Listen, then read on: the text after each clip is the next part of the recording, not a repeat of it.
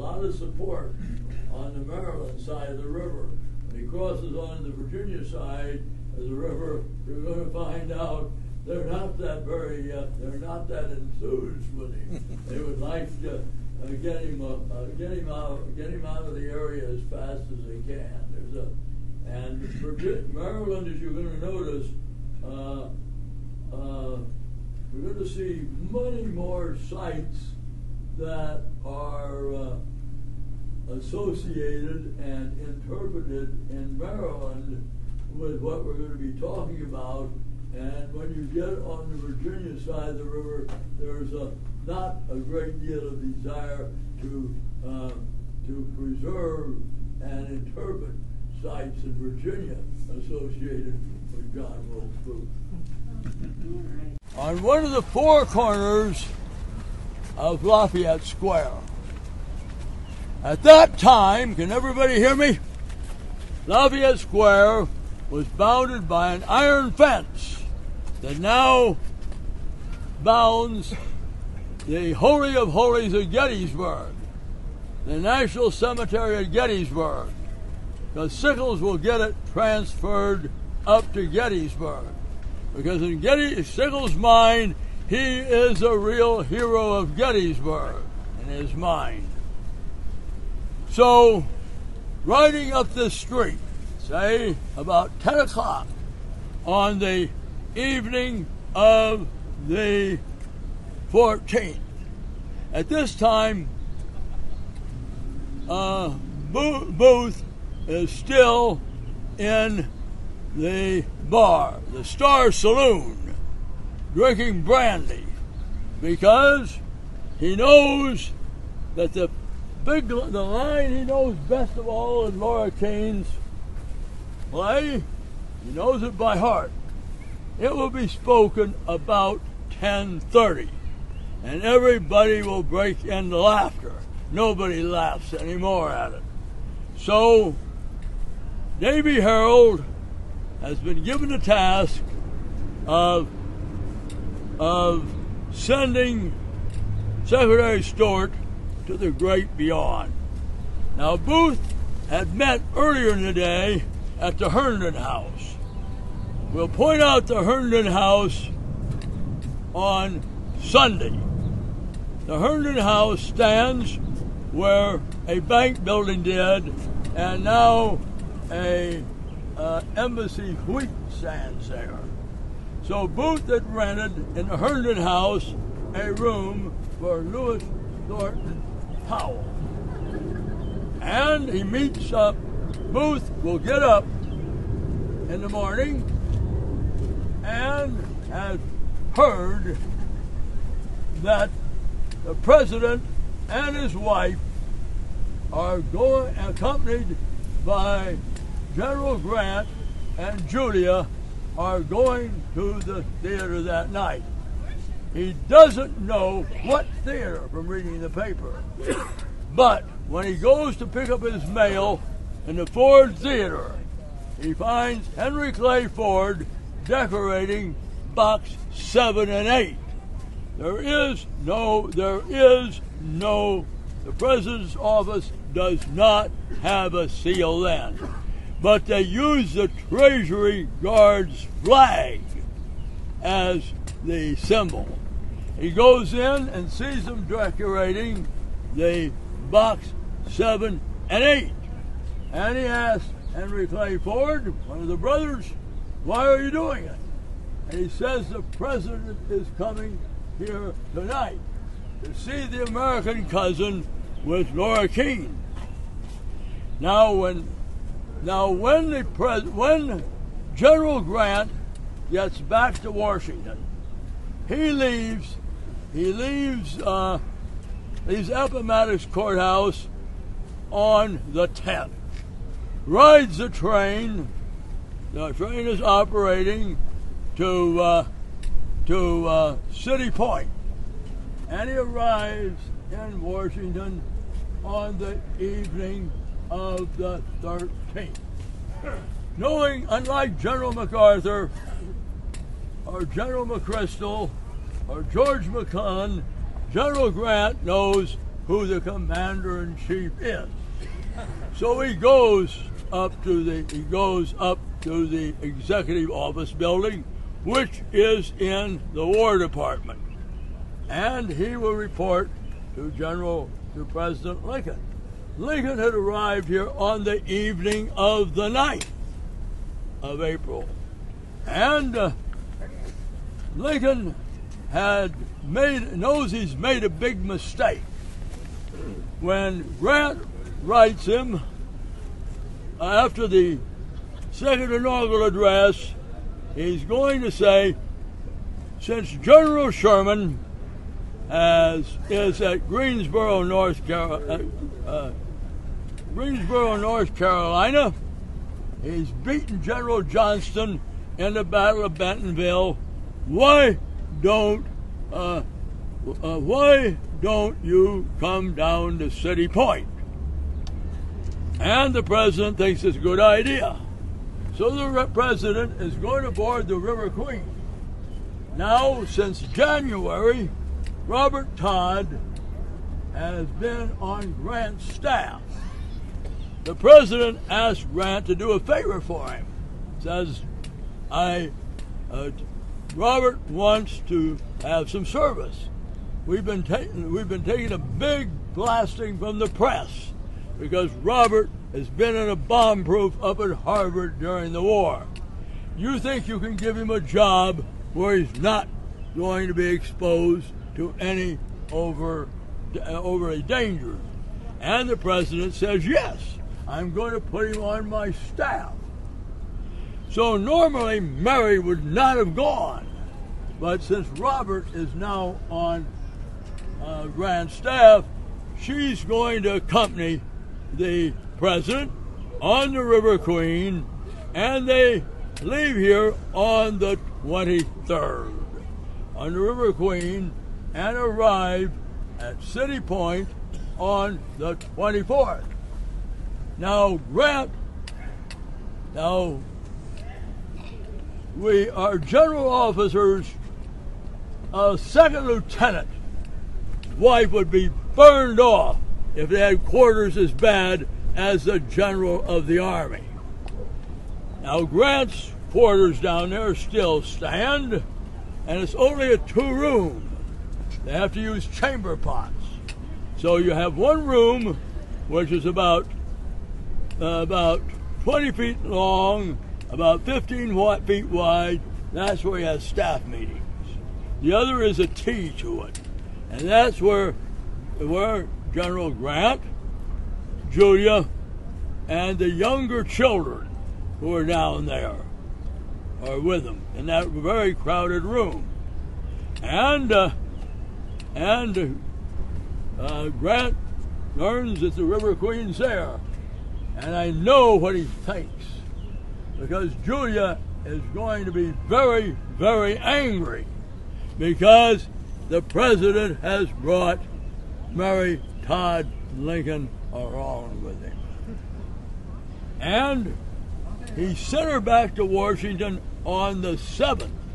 Why? Because he had an excuse. Because Seward had been injured on the fifth day of uh, of April when his buggy had bolted and it had broken his shoulder. Fortunately for Seward, he's in a metal uh, brace uh, to hold to control movement in his right in his shoulder. And uh, finding that, and finding that Mrs. Seward is not here, uh, he's going to tell Mary go back. So Mary makes a fast trip back here on the 7th. And she is back at City Point on the 9th. And the president says, we're going back to Washington on the 9th. So they board the steamboat on the River Queen on the 9th, and early, early, early in the morning on the 9th, and they arrive back in Washington on the evening of the 9th. They learn on the evening of the 9th that Lee has surrendered at Appomattox Courthouse. So Grant is going to decide, when Grant arrives, It's the first time he's seen Lincoln since uh, the uh, since the fourth, the third day of of of April. So he drops and reports to the president. Grant has to know because he sleeps with Julia every night. They're very close. They're as close as any husband and wife have ever been in that office. And not only the president will rather sheepishly say, uh, will you join May and Julia? Uh, will you and Julia join uh, Mary and myself at the theater tomorrow night? And Grant probably says, probably tries to get as small as he can because he can't refuse. He says, I have to check with my wife. So, when he checks with his wife, he gets orders from headquarters. headquarters is Mrs. Grant, and she was going to inform the general, uh, the, the, the general commanding. She's going to inform him that I am not going to the theater with you tonight. We're going up to Burlington, New Jersey, and visit our children. So Grant now knows that he is not going to the theater, and Julia is not going to the theater. Meanwhile, Booth has now learned what theater they're going to, because he learned it from Henry Clay Ford. They're going to the they're going to the Ford Theater. So Booth is going to have a meeting in the Herndon House where he's rented a room for Lewis Thornton Powell. And in that meeting is going to be Powell, Atzerodt, uh, Herold, and Powell, Atzerodt, Herold, and uh, I missed one of them. All right, Atzerodt, uh, we've got Powell, we've got Herold. Missed one of them. Booth. Booth. Booth is going to give them their assignments. He says, Tonight, uh, you're coming with me. And we're going to enter box seven and eight and you're going to assassinate the General Grant, and I will assassinate President Lincoln. He tells Atzerodt, you are going uh, to uh, assassinate the vice president. I've got a room rented for you in the Kirkwood House, which is two blocks from Ford Theater. And he says, Herold, you're going with uh, uh Powell. Powell isn't very bright. He's a killer, but he's not very bright. And you're going to have to guide him to the secretary's house, point out where the house is, and tell him that you have medicine for him prescribed by Dr. Tullio Verdi. You understand me? Yes. Now, when they set out, Be by, by riding a one-eyed horse, which Booth had bought from Squire Gardner, who lives on the farm next to poor Dr. Mudd. He bought the one-eyed horse from him, and uh, Booth had, and he has rented from the Fletcher livery stable a horse for Davy Herold to ride. So Davy Herold is going to be Booth and Herold, Booth, Booth and Powell will arrive here They'll ride along Pennsylvania Avenue. They wave probably Mr. Fletcher when they go by. They turn into uh, 15th Street, turn left into Pennsylvania Avenue, and right in this area where we're standing here on this corner. They're going, Herold says, I'll wait for you here. And he says, the secretary lives in the first house where you see the new building, the Court of Claims. That was built in the early years of the Kennedy administration. And Jackie Kennedy will take as her project saving Lafayette Square from adverse buildings such as the Court of Claims, which is built there. And that house then was a three story building with a gable. And it, uh, it's on the corner, and he points out where it is. All right. So Powell, you all hearing me? All right. So Herold, so Powell then walks probably in the street in Madison Place, and he's going up here. So after Herold has pointed out where he is, Powell goes up to the door, knocks at the door. William Charlie Bell is the, uh, they could use State Department employees, which is you cannot do if you're members of the cabinet. And Bell will answer the door. And Powell will tell him, I have medicine from Dr. Tullio Verdi, and I'm to give it to him, give it to his son personally to give it to him. Well, Bell thinks, Dr. Verdi's been here 10, 15 minutes ago. Why is he sending a message back now? And uh, they'll have a discussion. And finally, uh, uh, uh, Bell will say, I'm going to check with Fred Seward. Now, on the second floor, there's a uh, uh, there's considerable room before the rooms up there. Now, one of the rooms, the secretary is in it in considerable pain, and Powell will start up the stairs, and Fred will come out on the landing and says, What do you want? He says, I'm from Dr. Tullio Verdi and I've got medicine which I'm to give to you for your father. And uh, uh, young Seward Fred, who is Sec- Assistant Secretary of State, turns and looks in the door and he says, Father's asleep. You'll have to go. Then Powell lets out a horrible oath Probably, you son of a bitch or something, get out of my way. And he bounds up the stairs, pulls out his pistol, and points it at Fred. Pulls the trigger, and it misfires. So he takes the Colt Navy and massages Fred with the Colt Navy, fracturing his skull. He's going to be the closest to death in that house that night there's going to be.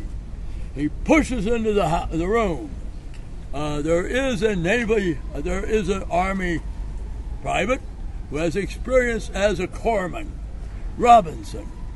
And he is there, and Powell rushes to the bed where the secretary is lying.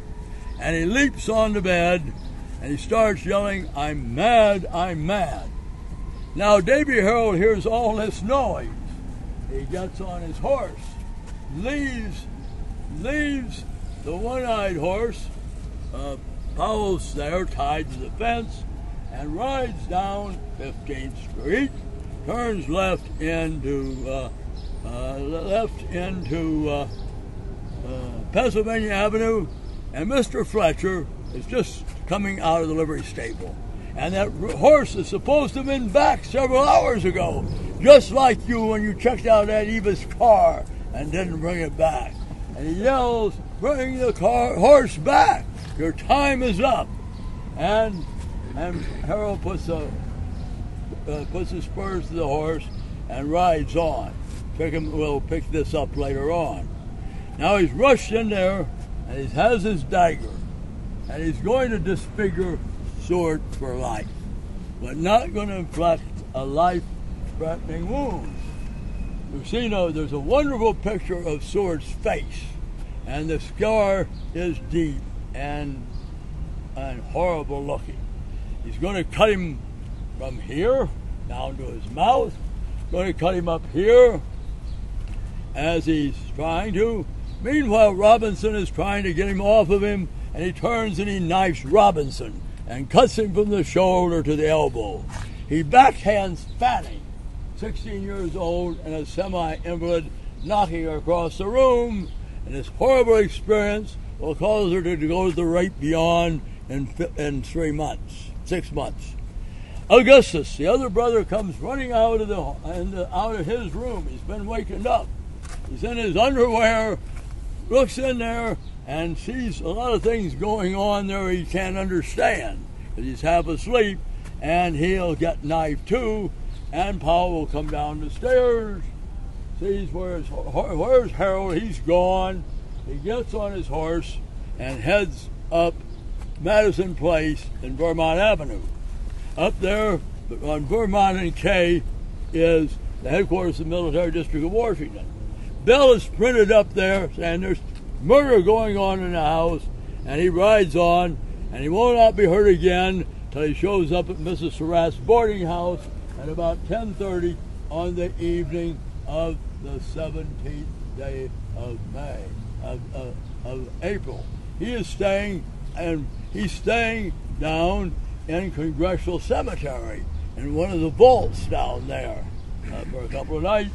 That means he's going to look like the wrath of God when he shows up there. And we have, uh, so that deals with the attack. Now, Stanton, when he first hears of it, he thinks the attack is on Seward. So he comes here first. And then he goes from here to the Petersen house. And we know that Lincoln is going to find out early in the afternoon that the Grants are not going to the theater with them. The Grants are going up to New Jersey shore to see their children. All right, we're in 712. That is where Major Rathbone lives. And the Lincolns have Lincoln has a bad time, you can imagine. He has two people who have just bugged out on him of going to the theater. So he's going to ask about 13 people before he gets two people who are going. And they're going to be Major Rathbone and his uh, fiancee, Clara Harris, the daughter of Senator Harris of Pennsylvania. Excuse me, New York.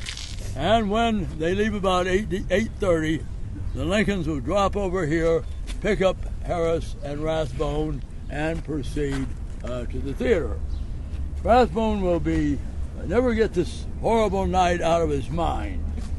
He's the man that grabbed Booth as he prepares to jump from box seven and eight to the stage, throws him off balance. As he grabs him by the coattail, Booth turns and cuts him from the elbow, uh, from the shoulder to the elbow. There's a lot of blood. There's very of it is Lincoln's blood in the box seven and eight. Almost all that blood is from Rathbone. And when Lincoln hits, uh, when he hits the floor, the strange thing is, all the witnesses who they take testimony of do not talk about Booth limping off the stage. After brandishing his bloody knife and shouting the Virginia motto, Semper Tyrannis, thus always to tyrants, then none of the eyewitnesses of testimony, give testimony, will say that Booth limps off the stage. And out in the Baptist alley. They will change their story when, as we're going to find out, Booth is going to tell both Davy Herold and uh, Dr. Mudd and Mudd's hired man that he broke his horse when his horse fell as he was going up Soper's Hill. He will not say that he broke his horse a leg when he jumped on the stage till he's hiding out in the pine thicket when he's writing everything to make people feel sorry for him.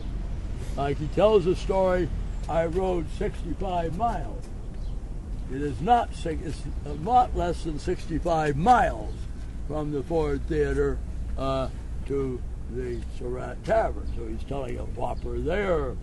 And he is, uh, and he is then he says the bones tearing the flesh in my leg. Now the, the, the it is a simple fracture. A simple fracture usually does not get out of alignment and it does not tear your flesh. So when he writes that, I think he's daydreaming. I agree with the people who came up with the th- theory that he did not break his leg when he jumped to the stage.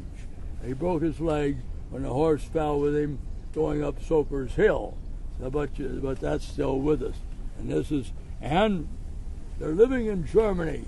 Uh, the Rathbone and his wife are married. They're happily married, apparently. And Rathbone starts acting very strange in 1880 uh, in 1886.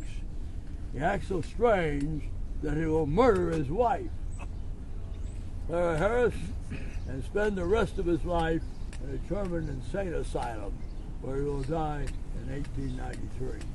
that's the story, the tragic story of the Harrisons. Uh, when did Booth find out that Grant was going to be there? Okay. They found out, all right, Booth is riding up Pennsylvania Avenue on the afternoon of the uh, 14th. Who does he see coming out of the Woodlands Hotel? Julia and the General. Now, Julia doesn't recognize who it is.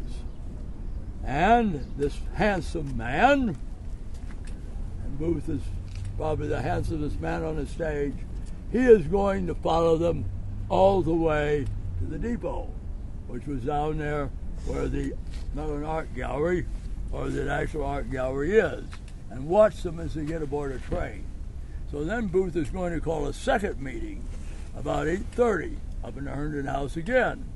And he's going to change the things. Grant isn't going to be there. So Powell is going to draw, you're going to assassinate Seward. Uh, Herold, you're going to be the guide. All, you're going to do just what you did before. You're going to assassinate the vice president. So he, he, he, he redesigns the, uh, the scenario. All right, we'll go. Uh, we'll go to now. The Star Saloon is here on the, the left. It is a reconstruction, and Booth is going to stop in the Star Saloon because when we're going to find out when he goes in to the theater through the uh, off the alley, he will go downstairs, and there's a basement there which is not used. The basement is now where the exhibits are. Comes up on the other side, looks at his watch, and he sees he's got about 15 minutes to burn.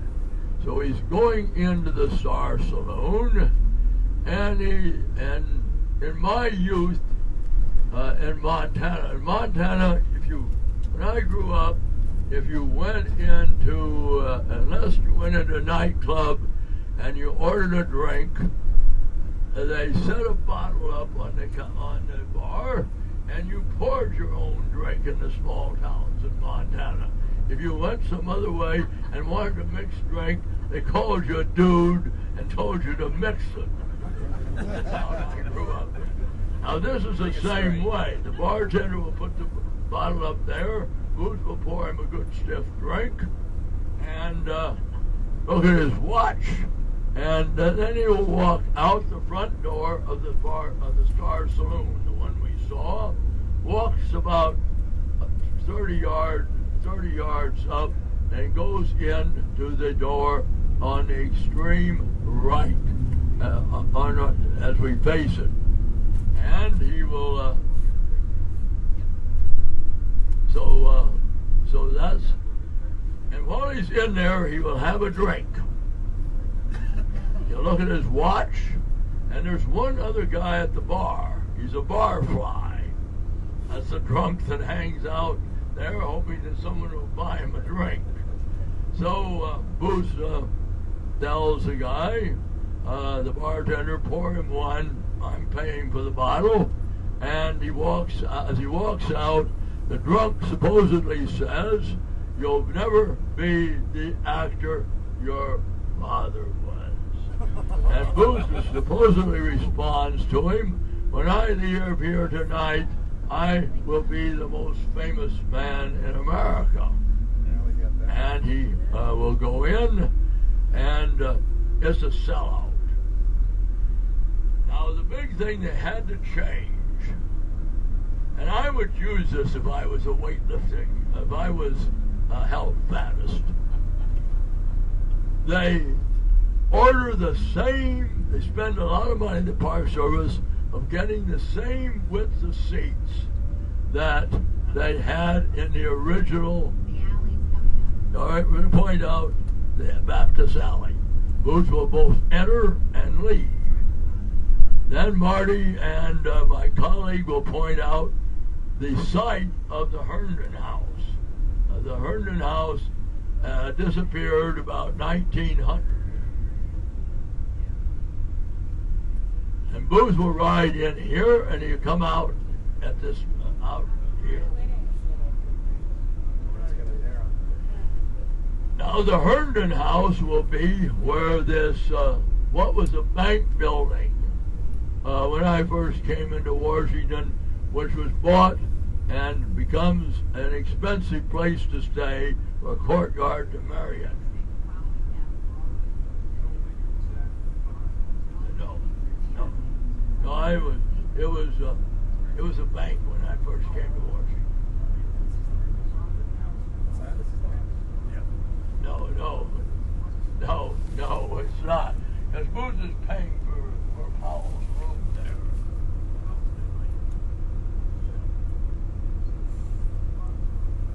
This is where they'll have those two important meetings. One fairly early in the day when Grant is on the list. They'll only learn that Grant is not going to be there when Booth is riding up Pennsylvania Avenue, goes by the Willard Hotel, and who does he see getting into a carriage there? Uh, he sees uh, General Grant and Julia Dent Grant. Julia Dent Grant will be, I guess she's impressed with Booth's looks because she says this handsome fellow will follow them all the way to the depot. Remember where the depot was then? It is where the National Art Gallery is. They'll follow him all the way to there, and he will ride up and look at her.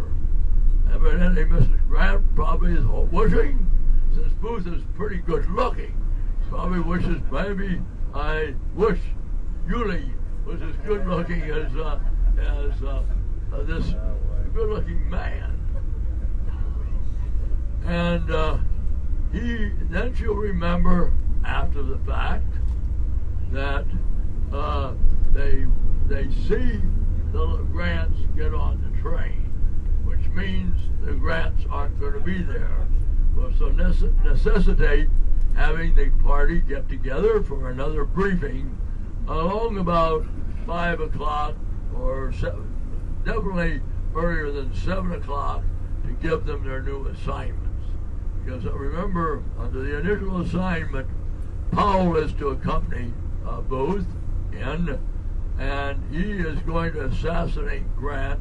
And Booth, uh, and after Booth uh, tells him, "You've got Grant. Lincoln is my man." Baptist Alley, and hands the reins of his horse, which he's rented from the uh, Pumphrey Livery Stable, which is one block from the National Hotel. It's a horse that Booth has not ridden before. Booth has sold all his horses. He sold his carriage, and uh, he has to rent them now. So he'll ride up there, and that's where he will emerge uh, from the Ford Theater after he's done his dastardly deed.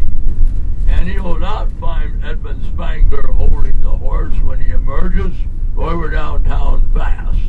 And he will, uh, uh, because uh, he, uh, and he'll find Peanuts Burrows, not a very bright 17 year old boy, holding his bay horse with stockings. When I say a horse has stockings, horses uh, uh, are many. uh, So it would be uh, a bay horse, and if they have stockings, that means they have white. It's quite common in horses will have white uh, on their lower legs. And if you're in the out, at least out west, they call them stockings. I don't know what they do in the, horse racing community where they use thoroughbreds, but we uh, uh, go, and that's hair that. Uh, and the horse is not very gentle, and that's going to be a problem for Booth somewhat. And uh, but we'll see that. We'll walk down the alley tomorrow and uh, visit, go into the sor- into the into the tavern, uh, and go into the theater. Now the theater in my career and uh, the Surratt Society was very, very important. Now, in 1950, in the late, in, in the 1950s, Senator now shows you how important the Ford Theater is to people you would think would be not a senator from North Dakota. Senator Young introduces a bill to take a building that had been badly uh, butchered up and restore it till it looks like it was the day of the assassination. And they will restore the building, but before they can furnish it and before they can put the exhibits in, uh, the Kennedy assassination has taken place. The Park Service not being, uh, the Park Service is a very conservative organization, and they decide, they they've inherited uh, through the years uh, the collection of the best system of artifacts associated with the assassination. And they they put it in the closet, I like to say, using one of my uh, uh, terms when I don't uh, when I think people are gutless. And the ma- managers of the Park Service put every object they have associated with the assassination in an area uh, that is about uh, 10 feet wide and about 4 feet uh, uh, uh, width and about 10 feet 10 feet in length and it's impossible to see it and they tell the rest of the story very poorly of Lincoln's life. Now you got good museums that have that can tell Lincoln's life. I wouldn't want to compete uh, with a, ever a museum trying to compete with a museum out in Springfield, Illinois, on, Lincoln. Uh, you're you're going at a losing proposition. So they get so many complaints, and the Surratt Society is very important. They're represented by Joan Chaconas and, Lar- and Lori, and they're going to argue you've got to sell the assassination. So they do. Uh, so they pull the assassination out of the closet and give them all the space in the basement except for the bookstore and the restrooms. Hotel the Booth.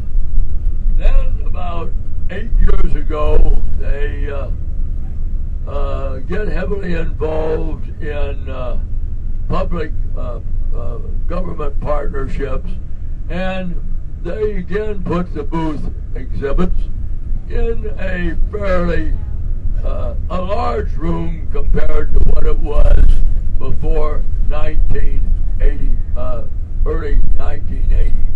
And that's the first time I get involved officially with it, because I'm with a group uh, who uh, I would argue Surratt Society is most effective. You've got to take the Booth assassination out of the closet.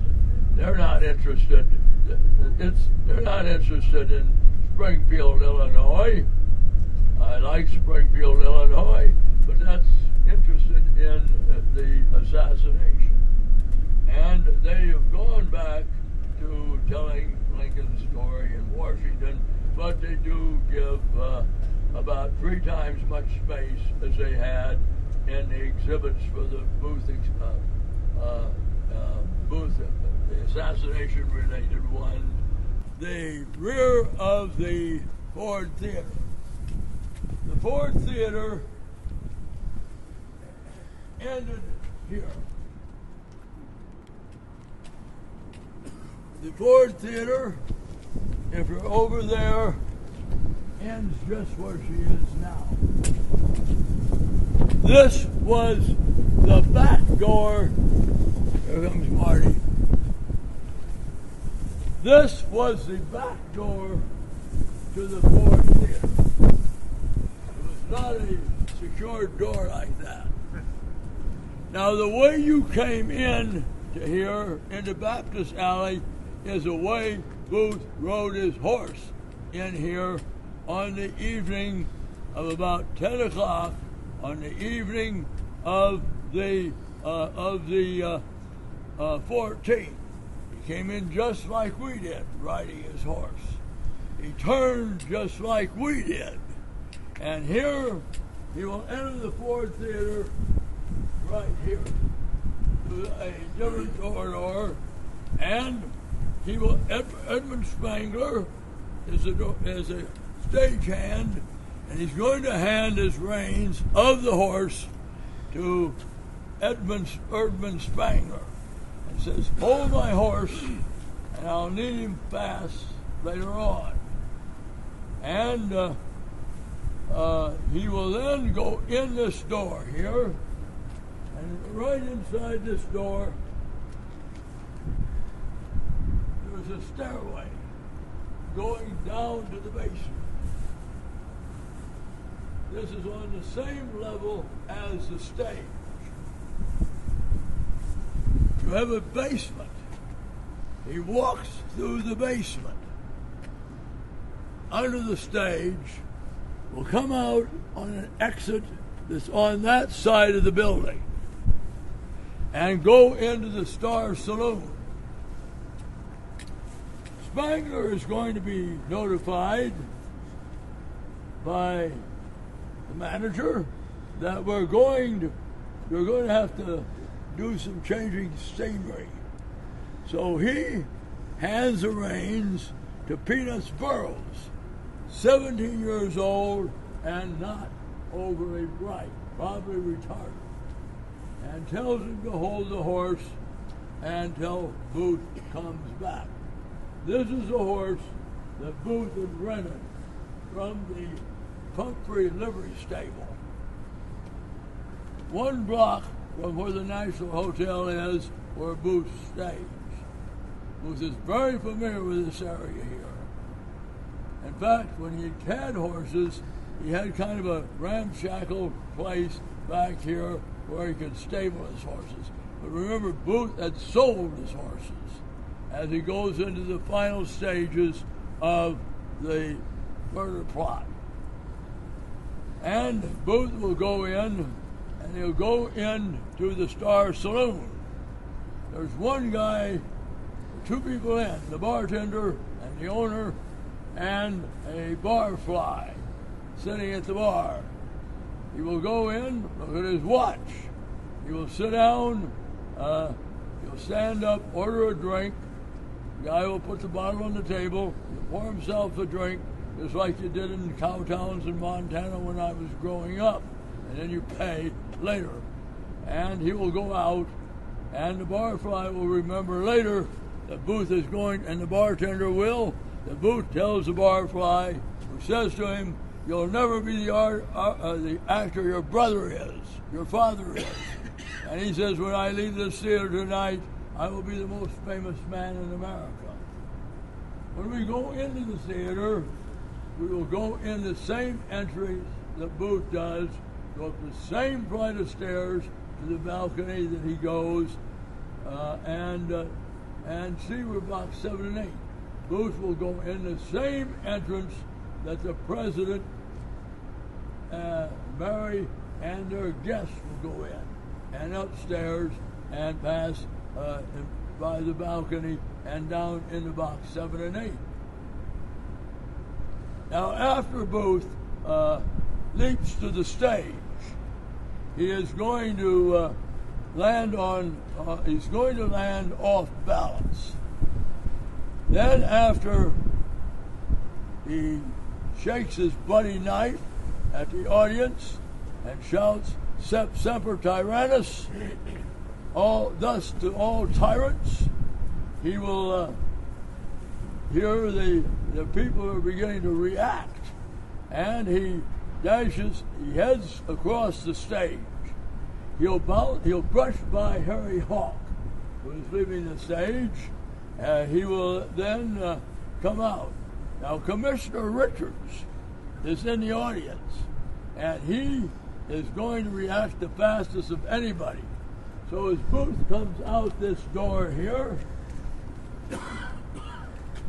you can hear the footfalls of Commissioner Richards just behind him. He gra- he sees the horse there, the bay horse, with the four stockings on, and he sees Peanuts Burrows holding. He grabs he grabs for the reins, and Peanuts is holding on. He'll take his bloody knife and bring the hilt of it down on on this point where it's very, very sensitive, you know. And Peanuts Burrows will let a scream out of him and let loose of the reins. It's cloudy out there. The moon will be coming out. That's why I'm wearing this T-shirt. And Booth will throw his left foot. You have to, all horses you have to get up on the left side. They're broken to ride that way. Though he throws his left foot, this is another argument how bad is his leg hurting him. But again, you know, you could say uh, in a situation like this, you don't feel any pain. So for a real brief moments, all his uh, his weight as you get on a horse you, you have to get on like this, and this, with that foot in the stirrup, and the horse shies.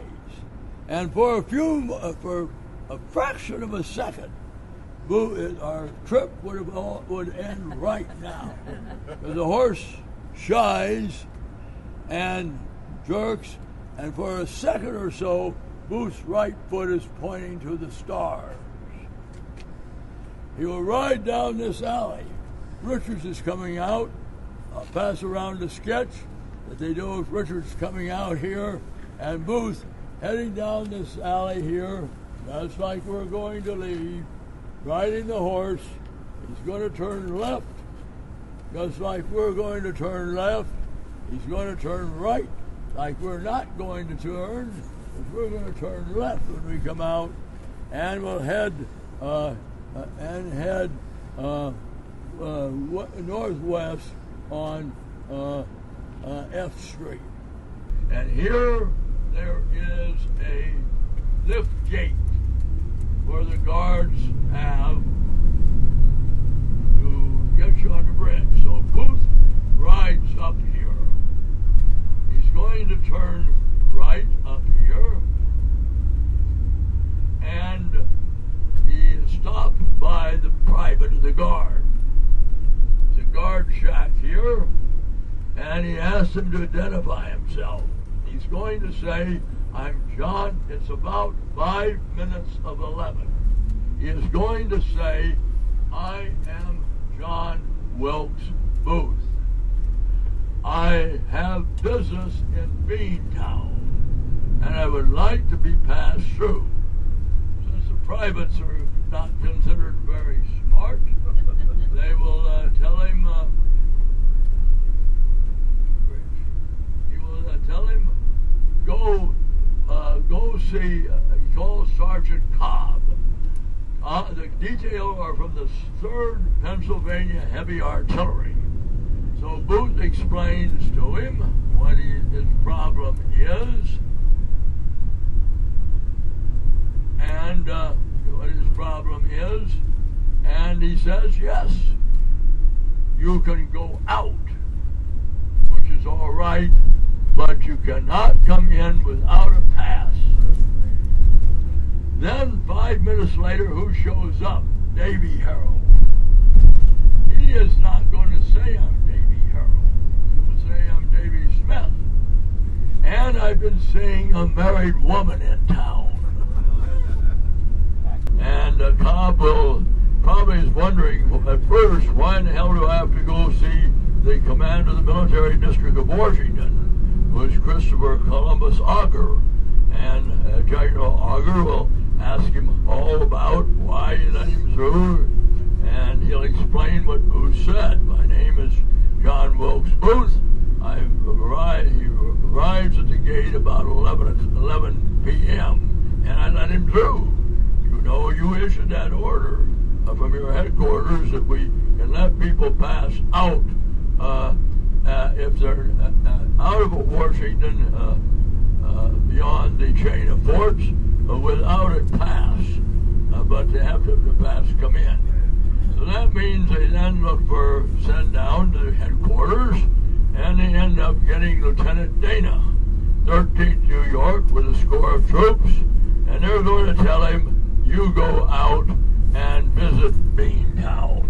That's where Booth said he was going. If I am Lewis Thornton, if I'm uh, Lewis Thornton Powell, I'm going to go up that stairway up to the entrance to the uh, uh, place.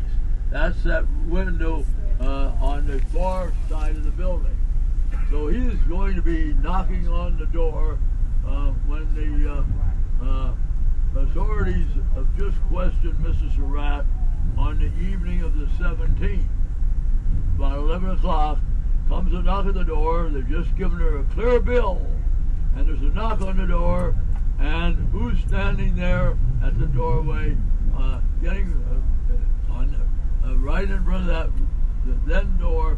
It's Lewis Thornton Powell in his linen duster, with his hat pulled out over his eyes, and with a pickaxe over his shoulder, and informs her, he informs him that he's here to clean out Mrs. Surratt's gutters, and they will immediately arrest him. So he'll be the first one arrested. So this, in Stanton's mind, this is a net, and Stanton will be public in it. He'll be telling the members of the uh, of the military commission, this is the nest where the plot this is a net where the pot is hatched in this building here. Now, the first Booth will uh, meet John Surratt first on the on the 23rd of December. Booth is in town, and he is in the National Hotel visiting with Dr. Mudd. He tells Dr. Mudd, I would like to meet John Surratt. So they start walking up uh, 12th Street, and who they run into is John Surratt. And Booth, uh, Mudd introduces Booth to John Surratt. That would be from their times in the courier business. And they go up to Booth's room and drink milk punch the rest of the afternoon. And then Booth, this Booth will be here fairly often here uh, in the Surratt uh, rooming house. Now remember, there, this would be rooms down here. Mrs. Surratt would be that room just over where we see the middle Chinese uh, Chinese character. So this will be uh, Stanton will Stanton will do everything he can do to influence the court to uh, convict Mrs. Surratt. I think he is uh, he, uh, he is he's the man of all that wants Mrs. Surratt convicted and that's and this would be where it is.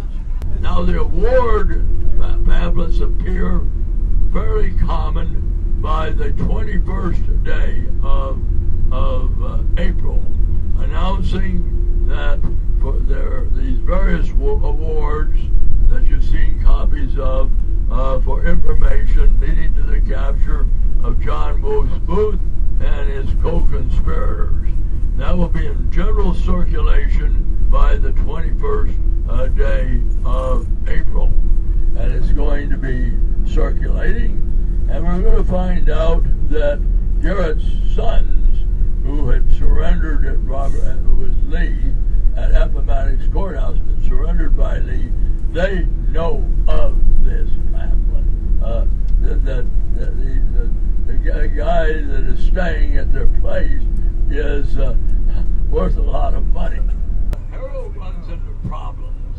Uh, Herold identifies himself as Davy Smith, and I can see the sergeant is beaming when he says, I have to leave town tonight because I've been seeing a married woman. And knowing sergeants who are, uh, have strange senses of humor, uh, only is winking to the private of the guard, they warn him he cannot come back into town before next morning without a pass, and he's not to go through. Now we're going to be riding up here, and we're going to, about the time we're going to get a bend up here, Booth passes two horsemen coming our, in our way. Uh, there's going to be Polk Gardner and a person named Doyle. They're riding to the Navy Yard Bridge. Now Uniontown was very was just a collection of houses near where we turned into this bridge. It's not this uh, crowded uh, place it is now. And they uh, wanted, they uh, see Booth riding.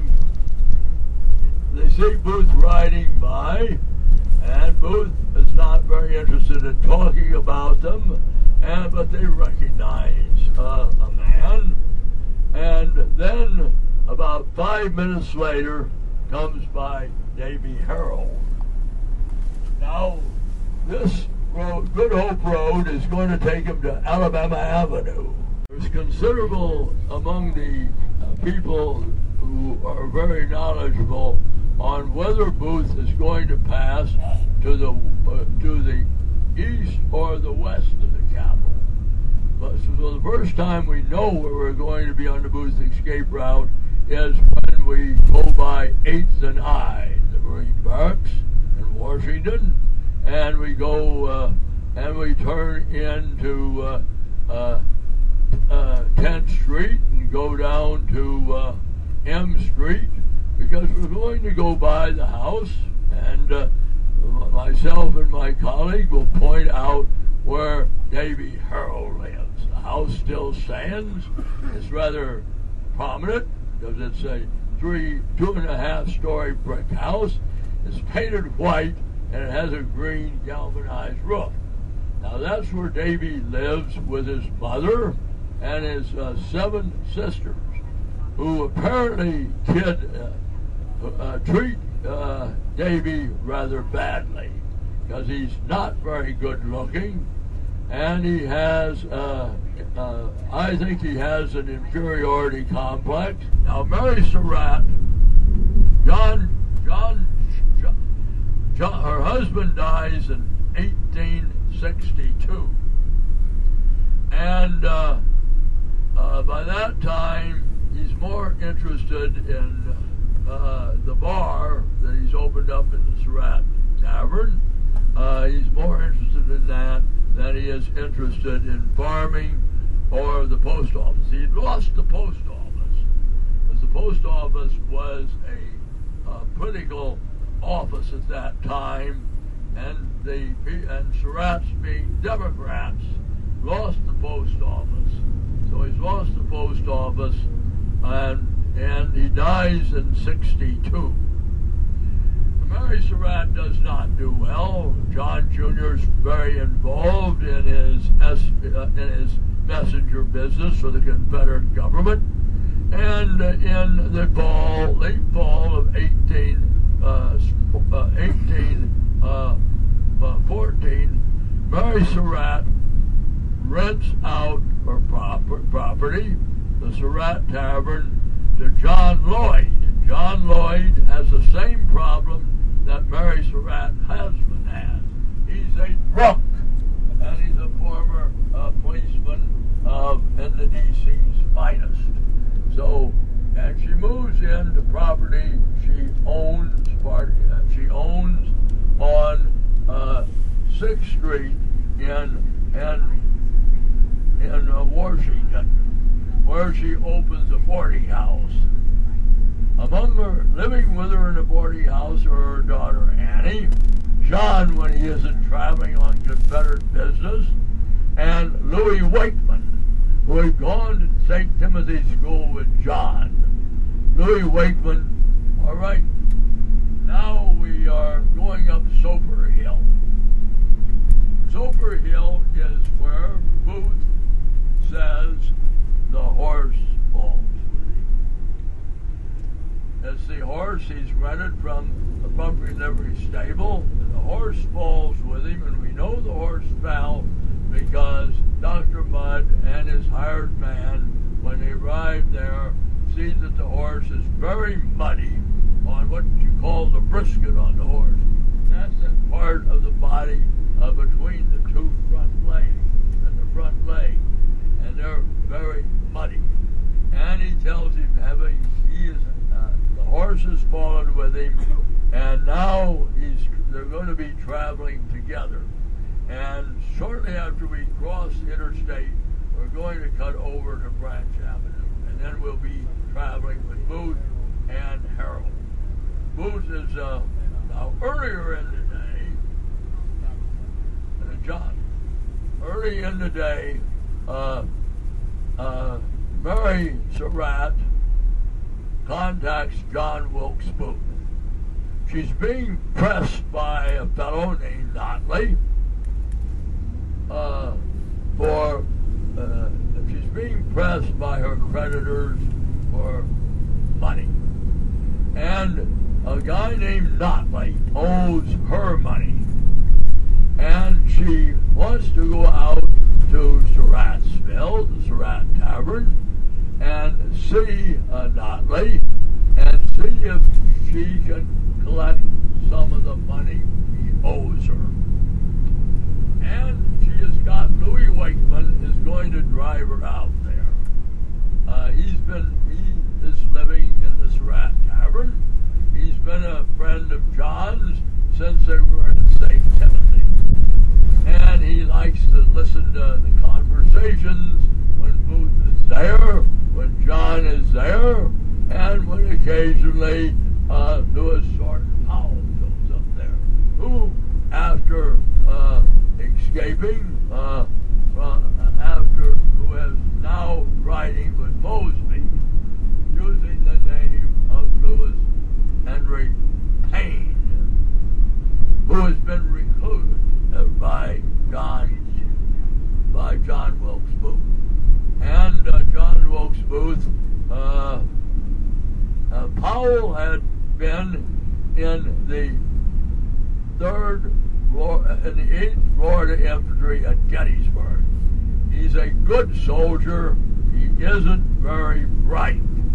Uh, he would have no trouble killing a person and has probably killed Yankees and probably abused Yankee prisoners. Uh, he's powerfully built. I always trying to cast him in the movies. You want to get someone that's very handsome that ladies like Marty and the ladies would swoon over. But he's not very smart. So uh, uh, he is, uh, he's been a recruit and he loves and he admires refers to him as. So he's got a person that'll be a real muscle man. And uh, and uh, uh, Mary and Booth has sold his carriage his buggy and his horse.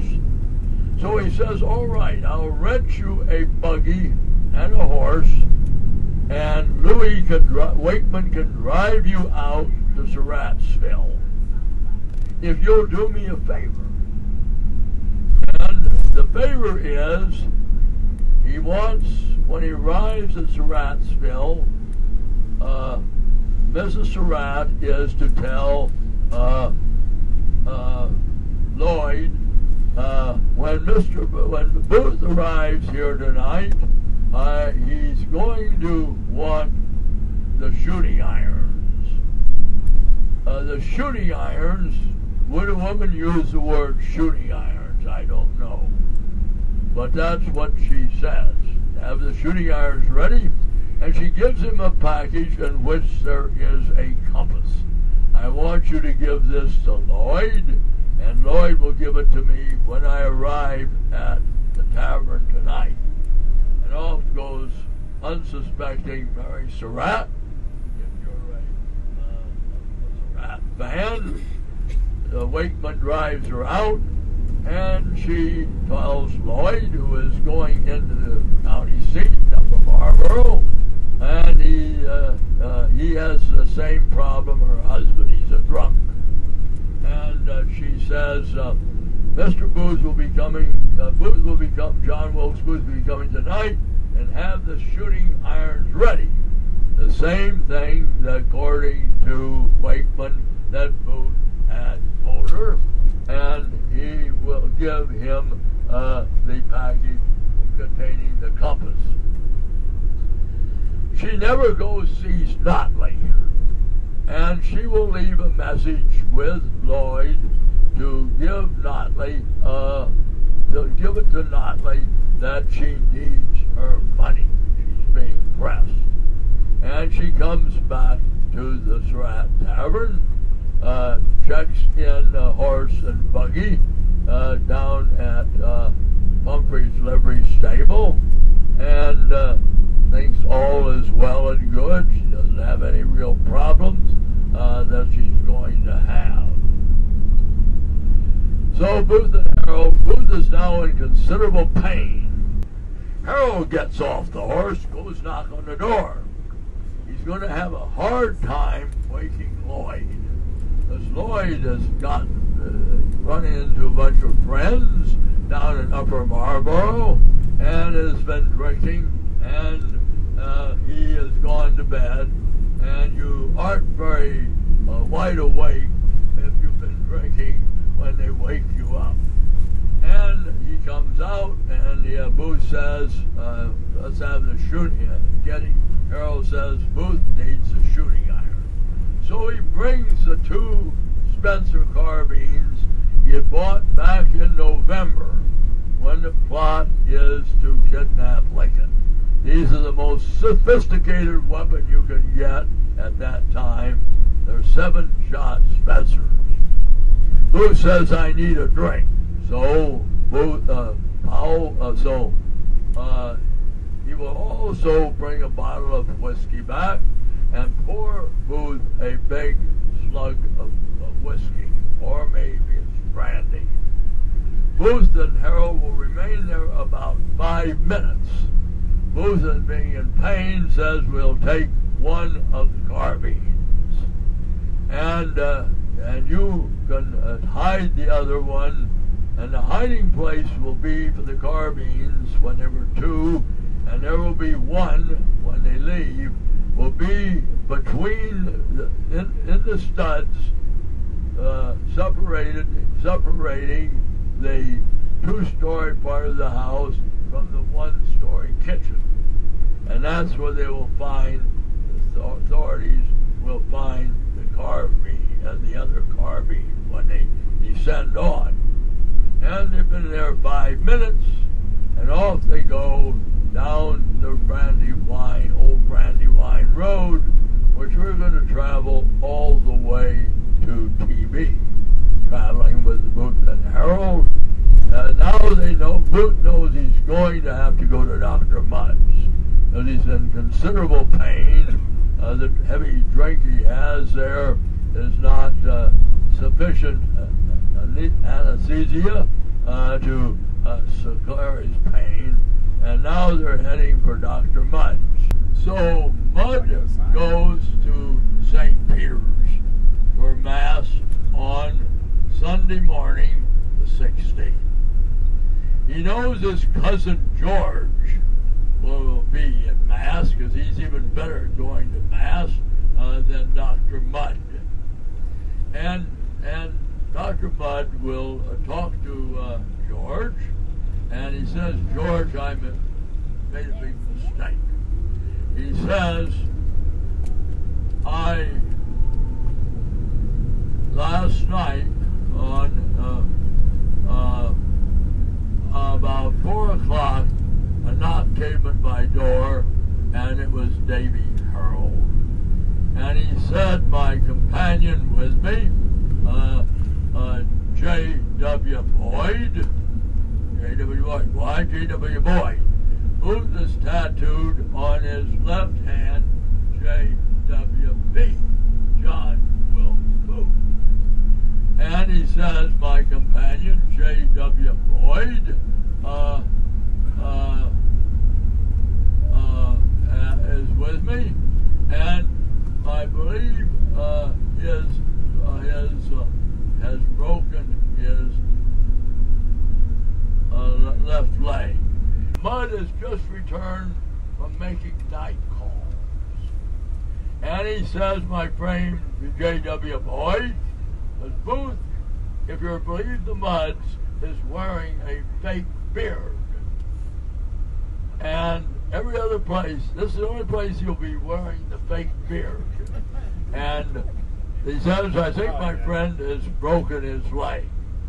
So Mudd will send from his hired man, send for his hired man, who comes down, and they're going to help Booth through the front door, door. That door we'll walk through.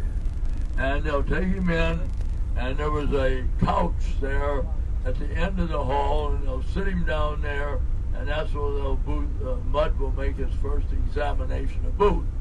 And he has to cut his booth off. It's a, it is what they call a French boot, and boots, uh, shoes and boots don't, most shoes and boots did not have lasts at that time. You wore the shoe or the boot, and it got molded to your feet. And No right or left. no right or left. And he has to cut it here to uh, get it off. And they hide it. And it has JWB in it. Now, uh, Herold is going to be up fairly early on the morning of the Saturday, the uh, 15th. And Booth is going to be sleeping upstairs. You saw where he's going to be sleeping. And he is not up yet. Uh, he is in some pain, uh, but he is not uh, up and around. Uh, Jer- Davy uh, uh, Jo- Dr. Mudd says, I'm going into Bryantown to pick up the mail. And Davy Herold says, Can I go with you? And maybe we can buy or rent a buggy and a, and a, and a horse from Dr. Mudd's father who lives here. So they stop briefly. The house is not there, but there's those buildings we passed on the left. And uh, they find out that Dr. Mudd's father is not interested in renting or selling a buggy and a, uh, a horse uh, to uh, to uh, J.W. Boyd. Remember, that's the name Booth is going by. And uh, they uh, push on, coming down the road we're doing, because uh, Mudd is going down to Bryantown ostensibly to pick up the mail. And uh, he is when we, we're going to turn down here and take the road to Bryantown. And we will go into Bryantown and pause by the Bryantown Inn. We're going to turn right here. We're going to pause by the Bryantown Inn. But Booth, but Davy does not go into town. As they approach the area where we're going to stop at a light, uh, just uh, before we have to turn right, uh, Booth, as Herold decides when he sees soldiers in town, this is the detachment commanded uh, by Lieutenant Captain Dana. Uh, 20, uh, 20 cavalrymen of the 13th uh, New York. And, and Davy gets suddenly nervous and he tells Dr. Mudd, I'm going back uh, to your house. I want to see my friend, Mr. J, Mr. Boyd, and uh, uh, and Dr. Mudd is wondering why he's so nervous when he sees soldiers in town. So they will go into town, and Dana will have will be in town. He has already uh, been to Beantown, and he finds nobody knows of John Wilkes Booth in Beantown. He decides maybe the Sergeant Cobb wasn't listening very well, and it, maybe he said Bryantown. So Dana decides to ride with his detachment down to Bryantown. When Mudd gets into town, he learns terrible news, you can imagine. He is going to learn that John Wilkes Booth has assassinated the president. And they have certain leads that have led them down here, and they're interested in uh, uh, finding if he is here or somebody in Bryantown knows. Now, Mudd actually has to know. Uh, it's a crock that he doesn't know who he is. And uh, he will uh, uh, get very nervous. What he should have done is told uh, Lieutenant Captain Dana, I think John, a, a guy that might well be John Wilkes Booth is in my house. He arrived at 4 a.m. and he, he well may be John Wilkes Booth. Then, uh, needless to say, Dr. Mudd is going to get his tail back to the uh, Mudd house as fast as he can. He, Booth is very familiar with Bryantown because on his first visit down here, in the third week, second weekend in uh, November, in, uh, in October, he had been introduced to Dr. Mudd by Dr. Queen at St. Mary's Church. And that time he spends one night in Dr. Mudd's house, two nights in the Bryantown Inn. He's back down here in the first week of, uh, of December, and he is going to spend one night in the Bryantown Inn and one night at Dr. Mudd's house. This is when he buys a one-eyed horse. When I say horse, that means a gelding. Uh, from Squire Gardner, who lives on the property just uh, east, west of Dr. Mudd's house. That would be across that fence, you're on Squire Gardner's property. So we're going, so Booth is very familiar with the Bryantown Inn. The Bryantown Inn is on our left. Now, as we go by it slowly, look at the east elevation of the house. It's two-story, and you're going to see one window in the uh, in the east elevation of it. It's in the second floor, and that is where you're going to get interrogated by the provost marshal of uh, Alexandria, who will soon be rewarded by the Republicans to become the first Republican governor of Virginia. All right? Now look at that building. Look at the, that room. That's the only window in there. And he is one tough son of a bitch. Even Tom Jones says he is. And they're not reading the, the Miranda rule and they're going to run about 80 people through there, and they're going to get right, right. They're going to get uh, the third degree.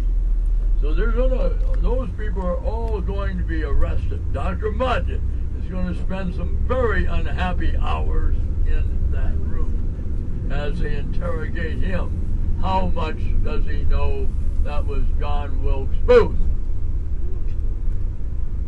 So Booth, uh, so Mudd has returned to his house. Now there are two stories when he gets back. One is that Booth is up already, uh, the hired man has harnessed uh, the Pumphrey livery stable horse, and they're all and they're all ready to move out. The other is they're still in the house, and he orders them out of the house and telling them, "How dare you coming here and endangering me and my family?" So they're going to leave, and they're going to leave from that road they uh, they pointed out to you. Now remember, Davy Herold is no longer in Prince George County. He's not familiar with every road, cowpath, and center, uh, etc. in Charles County. So they're going to uh, go down the road, and they're going, to, and Herold is going to get confused. And they're going to end up later on looking at the map, looking at your map. You, I gave you the three maps to look at, and on one of the maps you're going to see Oswald Swan's house. They'll arrive at Oswald Swan's house at about 10 p.m. on the evening of the 16th. Now, before we go by there, we're going to drive into uh, uh, St. Mary's Church. This is where Booth was introduced to John. This is John, where John Wilkes Booth is introduced to Dr. Samuel Alexander Mudd. We're going to turn here. The second entrance to the left. Second entrance to the left. It's on Mass on the 16th day of, of, of November. And Dr. Queen, whose name he's gotten up in Montreal, of those Confederate high-powered agents, is a man that's going to put him in touch with somebody that can be big help to him. And Dr. Queen decides he's going to do some to a fellow physician down here, Dr. Samuel Alexander Mudd. And this is where Mudd is going to be introduced to uh, Booth at Mass on Sunday, the 13th of November. At 11 at 10 o'clock, Willie is, uh, Davy Herold is lost. Not familiar with roads here. And they stop at Oswald Swan. Swan is part black, part Indian, and part white.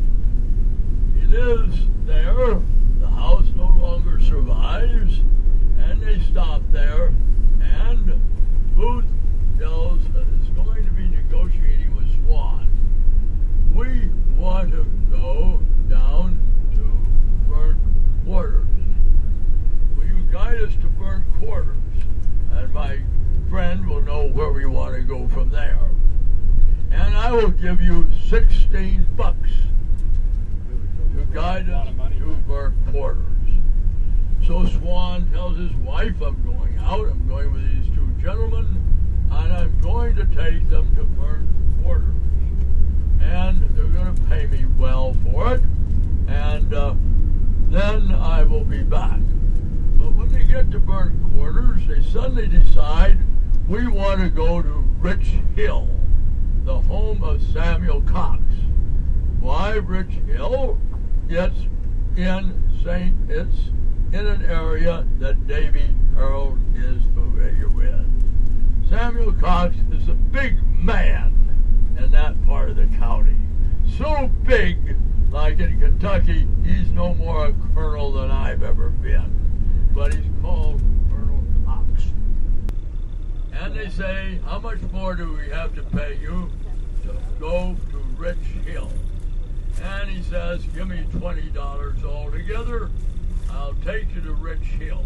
Now remember, Booth's leg is splinted. His left leg is splinted, and he has a set of crutches.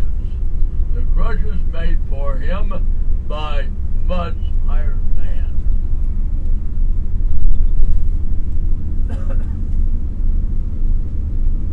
they told him we want to go to Burnt Store, but by the time they get to Burnt Store, they're going to decide we want to go to Rich Hill. Colonel Samuel Cox, the big man in that part of the county.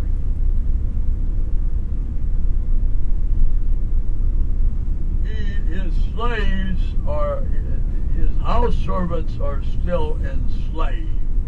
They've not been, uh, because Maryland was in a state that doesn't apply to the Emancipation Proclamation. Uh, uh, his, uh, uh, he, his household slave will say, yes, they come into his house. He's going to tell the authorities when they come after him, they only are on my porch. And there, Davy Herold, uh, I mean, Booth will pay uh, a swan off $20. Now, Booth and Herold, guided by Roby, the main one, and young Cox, take Booth back into the pine thicket.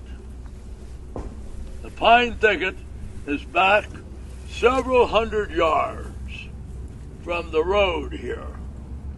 And he tells them, I will, we'll, uh, we'll come back and tell you after we've made arrangements with Tom Jones to take care of you till it reaches a situation where we can get he can get you across the river into Virginia. So Booth and Herold make themselves as comfortable as they can back in the pine thicket here. Uh, Roby and young Cox return about 3 o'clock in the afternoon. And uh, they have uh, met Jones, and Jones says, as soon as it's dark, I will visit Booth and Herold in the pine thicket.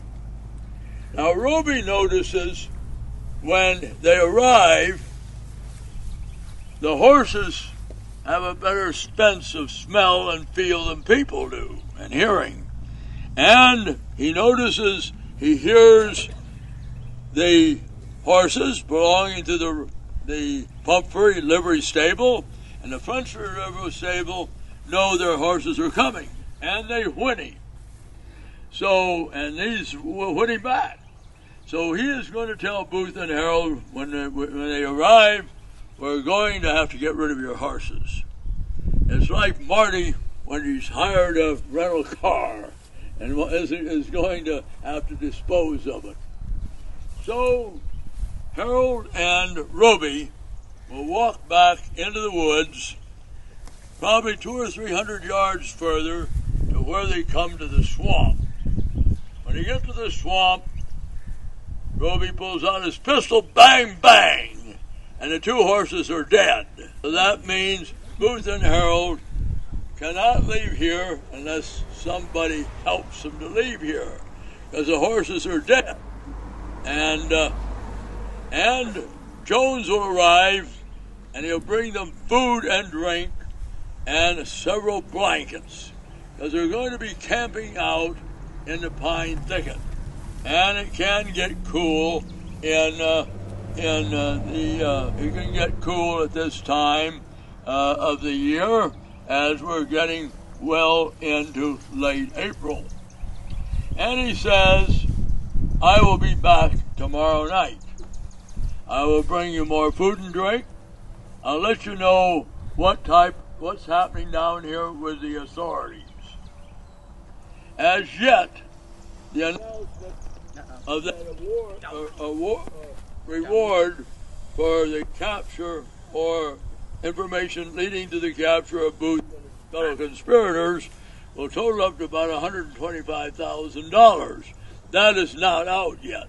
That will come out on the 21st of uh, uh, the 21st of the month.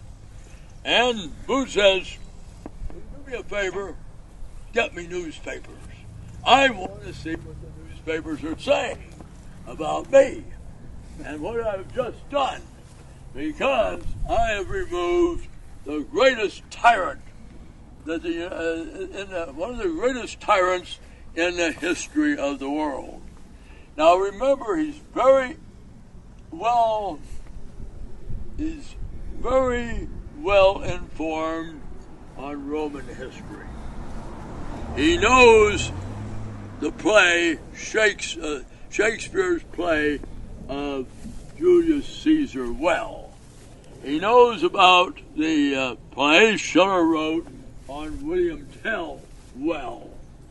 Knows them practically by heart. And he says, Will you bring me newspapers? I want to find out what the press is talking about. Are they going, and he's of the opinion he's going to be a very popular figure with members of the Democratic Party in the North.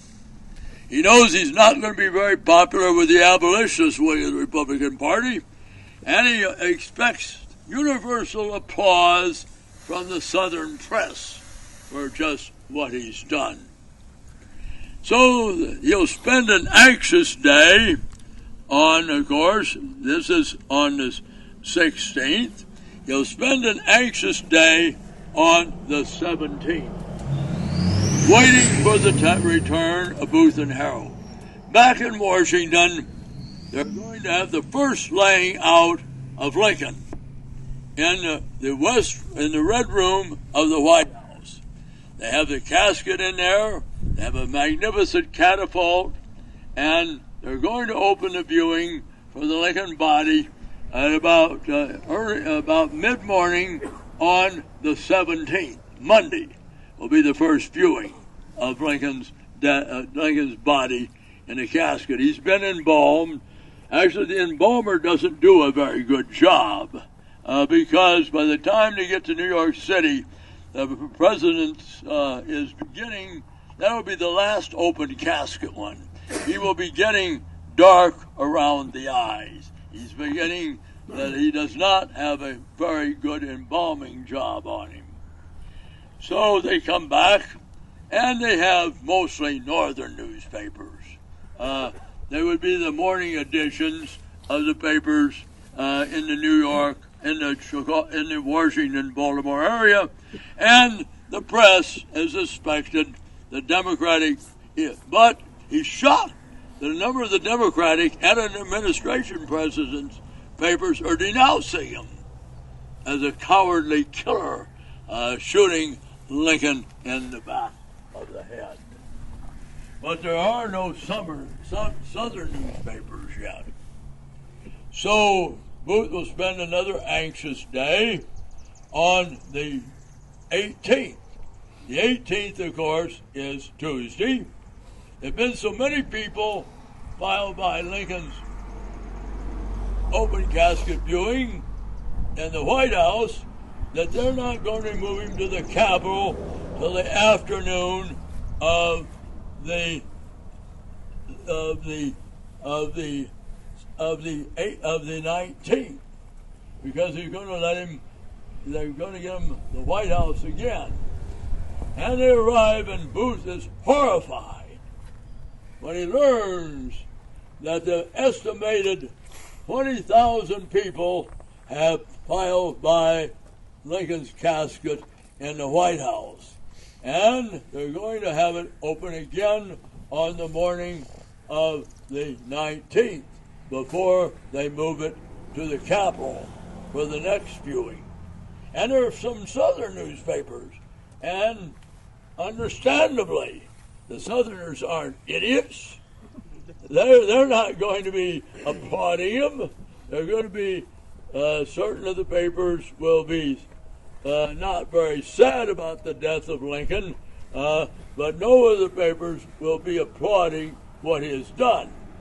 In fact, Jefferson Davis will address a crowd down in Charlotte on the 20th day of, of, uh, of April, a large crowd in Charlotte, and he will say, while uh, he is not weeping, while he's uh, about Lincoln's assassination, he's of the opinion that Andrew Johnson, who was a political enemy of Davis when they were both Democrats in the House, may be uh, much harder on the South than Lincoln would be. And he's particularly disturbed about uh, uh, about uh, him on certain reasons, and they're going to be denouncing him uh, for uh, uh, the assassination of Lincoln and the uh, uh, murder of William Tell. So he shows he knows history pretty well as a Shakespearean uh, uh, uh, uh actor. He will say uh, that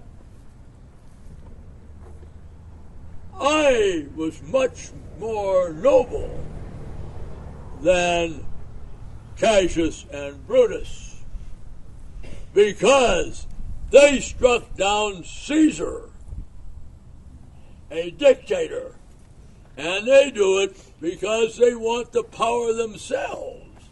Therefore, I was much more of a patriot than Brutus and Cassius because I've removed this uh, uh, this fellow uh, for getting political power for myself, not striking for the freedom of the South.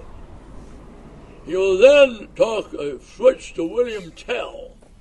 Now, William Tell, of course, is not as well known, but William Tell, of course, they will uh, uh, take rather firm things about Gessler. That's the man that forces William Tell to shoot the apple off his son's head. So he again will uh, compare himself uh, favorably uh, to uh, people who have struck down tyrants in, in, in, throughout history and that way. So you'll be, he'll get on that tune for a while. You'll also be disturbed when they say the cowardly assassin from behind the president shot him in the back of the head. And he will write in his journal, and he says, cowardly assassin, bah! I entered the Ford Theater, and before 17,000 I shot him down. 17,000 of his friends. Why are they calling me a cowardly assassin? And uh, you'll be on that line. Then, as we go into Monday is the 17th, Tuesday is the 18th. On the noon of Tuesday the 18th, the body is transferred with great ceremony from the White House to the rotunda of the Capitol, where more than 30,000 people in the next 12 hours will file by. And now the body is scheduled to go to Baltimore for a short viewing and a big viewing in Independence Square up in Philadelphia. So, uh, uh, and Booth is uh, uh Booth is spending. He's it isn't like he thought it was. He's not being hailed as a hero. Any Southerner would be an idiot if they hailed him as a hero, uh, because if the South was winning the war, it might be different. If the South is losing the war, and uh, he knows that well. Now, finally, we have we're now into the twenty the night of the 20, with the 21st. And uh, on the 21st, uh, uh, the uh, uh, the uh, his the person that's taking care of him, the the foster brother of uh, of Samuel Cox, Tom Jones, will be down on Allen's Fresh, in a bar on Allen's Fresh, onto Wicomico which drains into the Potomac. And he's down there, and somebody suddenly comes in and says they've seen a man with crutches, a rather handsome man, not dressed very well now, and a young man down in St. Mary's County. And every soldier, every detective where do they head? For St. Mary's County. And he tells Booth and Herold the, the authorities are down, have switched their look down to St. Mary's County. And you boy, you guys be be ready uh, because on the evening, this is the 22nd, on the evening of the 22nd, it's also now out that everybody knows the reward and the size of the reward. And that's why everybody heads for St. Mary's County. He says, I'll return this evening, evening of the 22nd, evening of the 22nd, excuse me, evening of the 21st, and you be, you guys be ready because my man Williams, a black man that works for uh, Tom Jones, has spent the day out in the Potomac River off Dents Meadow, keeping track of where the gunboats are on the river. Are the gunboats moved downriver, down in to the waters off St. Mary's County? And he decides this is it. And he's brought with him his horse. He's brought with him his lantern. And he tells them about 10 o'clock, be ready to go. We're going. Because the authorities have shifted the center of looking for us down to St. Mary's County. So Jones tells Booth, You get on my horse. Because you can't walk very well, so you're going to ride my horse. I'll be like Diogenes out in front, looking for my lantern with the honest man, uh, seeing who's up and who isn't when we pass them, and Davy can be along behind us. And they start off for Huckleberry.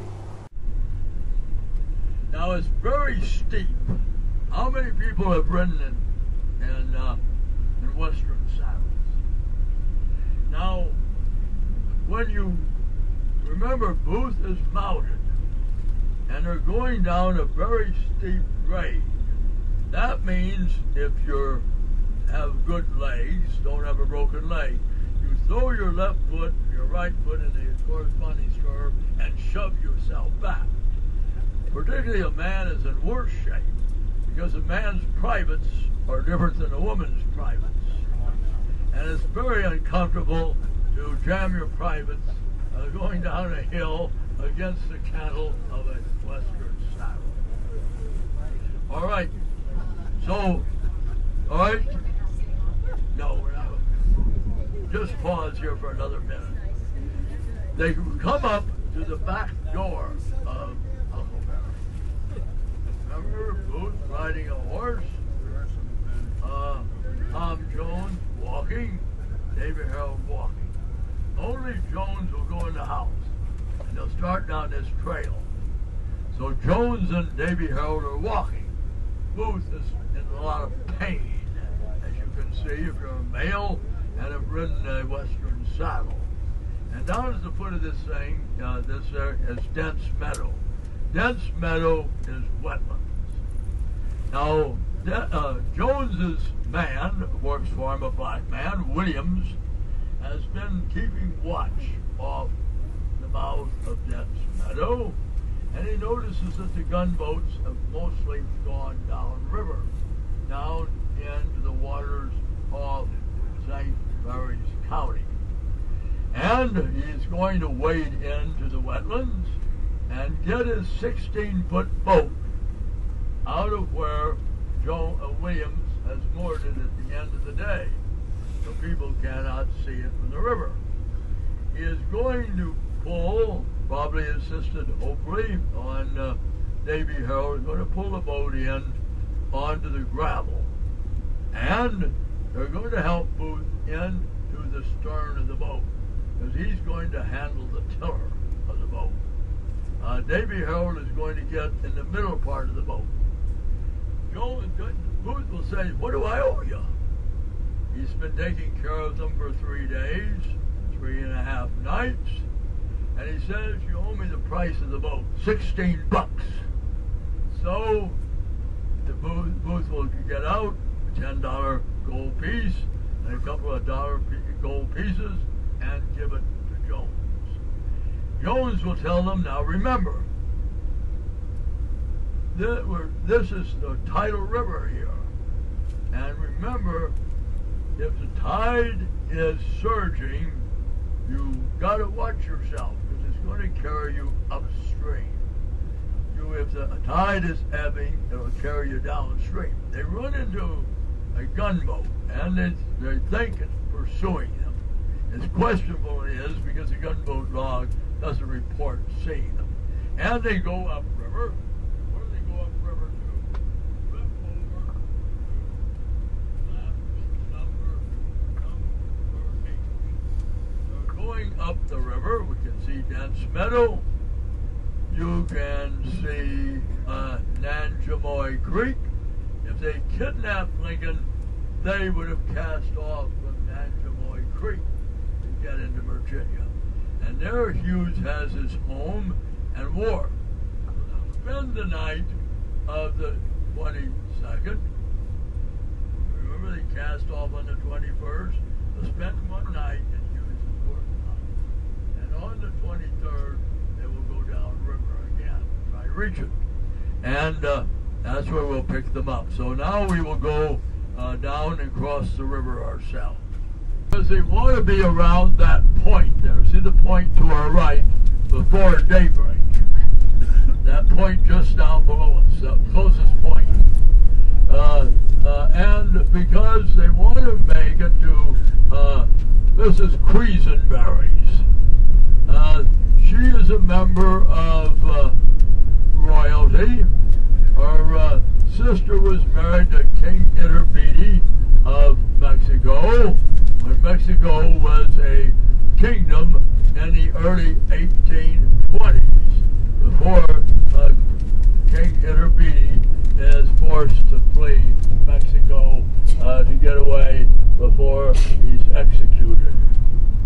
And Booth and Herold will be coming down. They're doing a better job. They round that point where you can see the ranging tower and that white building. But it's now daylight. So they're going to have to pull into the shore near Gambo Creek. If you look on your map, you're going to be looking at that. See the Dahlgren Proving Ground. There you can see uh, Williams Creek, uh, and uh, you can see Gambo Creek. So they're going to pull in Gambo Creek rather than uh, where Mrs. Quisenberry's home is. And they put up ashore there. Booth cannot walk yet well. He has to use a crutch. And he is going to stay with the boat at Gambo Creek and send Davy Herold to contact Mrs. Quisenberry. Definitely an FFV, First Family of Virginia. I will point Gambo Creek up here when we're going to cross it. We're going to cross it just before we come to Sheets. When we come to Sheets, we're going to turn right at Sheets into 624. Now, when Herold gets to Mrs. Quisenberry, she finds his children. Uh, they're teenagers, and they're rather delighted to find out that Herold and Booth are the person that assassinated the president. Booth is begin Herold is beginning to use we, the royal we, when he talks of assassinating the president. And uh, the young Quisenberry kids kind of think it's cool that Booth is assassinated. But Mrs. Quisenberry comes back and she's horrified to find out that they uh, that Booth is at back with the boat on Gambo Creek, and he has sent Davy Herold to contact her and see if she will take care of getting them off the river, uh, getting them away, and getting them a ride inland. So we're going to see Gambo Creek very uh, soon. Uh, it's going to be raining ahead as I can see. Uh, Gambo Creek is going to be this body of water we're going to cross just before. There's Gambo Creek. Down the creek here, closer to the uh, the river, is where they're going to uh, is where they're going to tie up. Now, when Mrs. Quisenberry orders them off the property, when we're going to turn right, uh, a Confederate agent, turn right here. A Confederate agent Baden and Harbin were the major Confederate agents in this part of Virginia. They come up and tell her, uh, cool down, Mrs. Quisenberry. We'll get them off your property. Don't get in touch with the authorities, and we'll get them off your property. So they come and get William Bryant, poor redneck farmer. You can see where he lives. His house has long disappeared. And Booth says to Bryant, $20 gold piece to take us to Cleydael, the home of a real first family of Virginia, Richard Stewart. Richard Stewart, the Lee, the Lee, two of the four Lee girls spent the summer of 61 at Cleydael with their first cousins. So uh, Booth is sure a warm welcome will be for him at Cleydael. So William Bryant is a poor redneck farmer driving a team of spavined horses on a uh, wagon that is just barely able to run, very rough. And he's the man that's going to get him to Cleydael. He also covers him up with some hay, uh, not to play in the hay, but in case anybody stops them. And they're going to be rolling along this road uh, en route to Cleydael. If he ever gets a good welcome, it is going to be here, he believes. So they tell uh, they tell uh, Bryant, drive us up to Cleydael, let us off, and you better stick around because we're getting a little with the reception at Mrs. Quisenberry. We're getting a little worried about how they're being received in Virginia. But we, uh, Stuart has been released from Old Capitol Prison 48 hours a home before, and they're having a party to welcome him home from Old Capitol Prison, which was located where the Supreme Court building is today. When he he's been out in back of the house and finds out that Booth and Herold are here, and he's anything but happy. After all, he's had experience at the hands of the uh, of the Union uh, prison people, and he's going to tell Booth and Herold, "Get off my property." Booth almost has tears in his eyes. Here's an FFV ordering him off his property, and he says, uh, uh, he asks Bryant to wait a few minutes, and he says, "Can you at least give us some food and drink?" And he says, "All right." I'm going to give you food and drink, and you're not coming in the house, standing on the porch. When you finish it, I want you off my property. So when they finished, Bryant, they'll come out here, meet Bryant. Now this, when I first saw this, this was a wilderness except for this house. And he and he, they tell Bryant, drive us down to the, those black cabins. So they drive down there, and Booth is determined this time he's not going to sleep outside. So he's going to play hardball with Mr. with Charlie Lucas, the father. And they come up to the door, Booth on his crutches, on his crutch, with a weapon, a pistol, and Booth will throw Booth and Herold will throw their weight against the door as it cracks and it comes open. They thrust a pistol in Lucas's face and tell him you're getting out of your house. We're taking over. And uh, Mr. Lucas is, uh, is, going to say, uh, white men don't come to black people's houses at night. And Booth says, we're taking over. So Lucas moves in with his son in the other cabin. And Booth and Herold sleep in a humble black cabin that night. This is the night of the 20 of the 23rd. Uh, this is the night of the 22nd, 23rd. And in the morning, they asked Mr. Lucas, "Will you uh, will you either sell us one of your horses and your buggy, or will you have your son drive us to Port Conway?" since these are very aggressive men, Mr. Lucas says my son will drive you to Port Conway uh, for a $20 gold piece. So uh, they're agreed.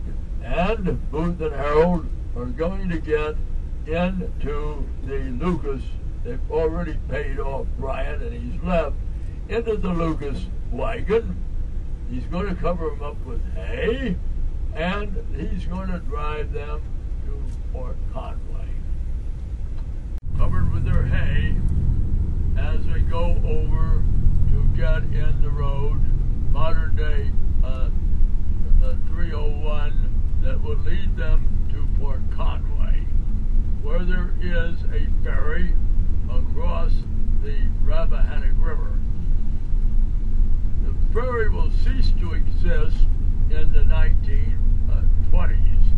Then they'll build a fancy bridge across here about 10 years ago uh, from uh, uh, from Port connecting Port Conway with Port Royal, and that's where they're going to uh, pay off and uh, wait for the ferry to get them across the river.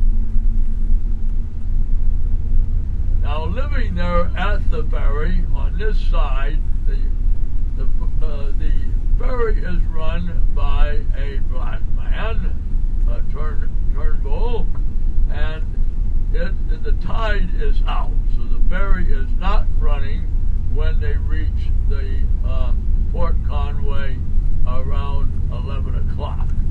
And they paid off our friend, uh, the young, Lu- young Lucas. And before he pays off Lucas, he says, I have something for you, and I want you to give it to Richard Stewart. I want you to give him this note. And in this note, I've uh, enclosed $2.93. This is in payment for the hospitality given with such ill-gotten grace to me and my companion uh, when we were at your place last night. I'm paying. Show you my disdain for you. I'm paying you what we ate and drank. And so back they go. And not only Stewart's probably will thank his stars, thank the Lord the rest of his life that Booth, wrote him that insulting note. And they're going to be waiting there for several hours. Suddenly arriving at the ferry are three Confederate soldiers. One is a son of, of General Ruggles. This will be uh, uh, this will be uh, a lieutenant in the Confederate Army. He's uh, uh, uh, Ruggles. he will be accompanied by Private Bainbridge, Mortimer Bainbridge, Bainbridge, and 18-year-old Willie Jett, who had ridden with, who will be, who will have ridden with, with the Ninth Cavalry. They have, and also with Mosby. And these three Confederates ride up, and Willie Jett is very, I mean, uh, Willie Jett and uh, Davy Herold are going to find their compadres. And uh, Booth has cautioned uh, uh, Herold to quit telling him we assassinated the president. Let's uh, let's remember I'm J.W. Boyd, and uh, we are not these important people that you're bragging are. But old Willie just, uh, old uh, David Herold can't keep his mouth shut. He has diarrhea of the mouth. And he's talking to Willie Jett. He finds out that Willie Jett is en route. He's been mustered out. He's got his parole, and he's going to Bowling Green, along with Ruggles, the lieutenant, and Bainbridge.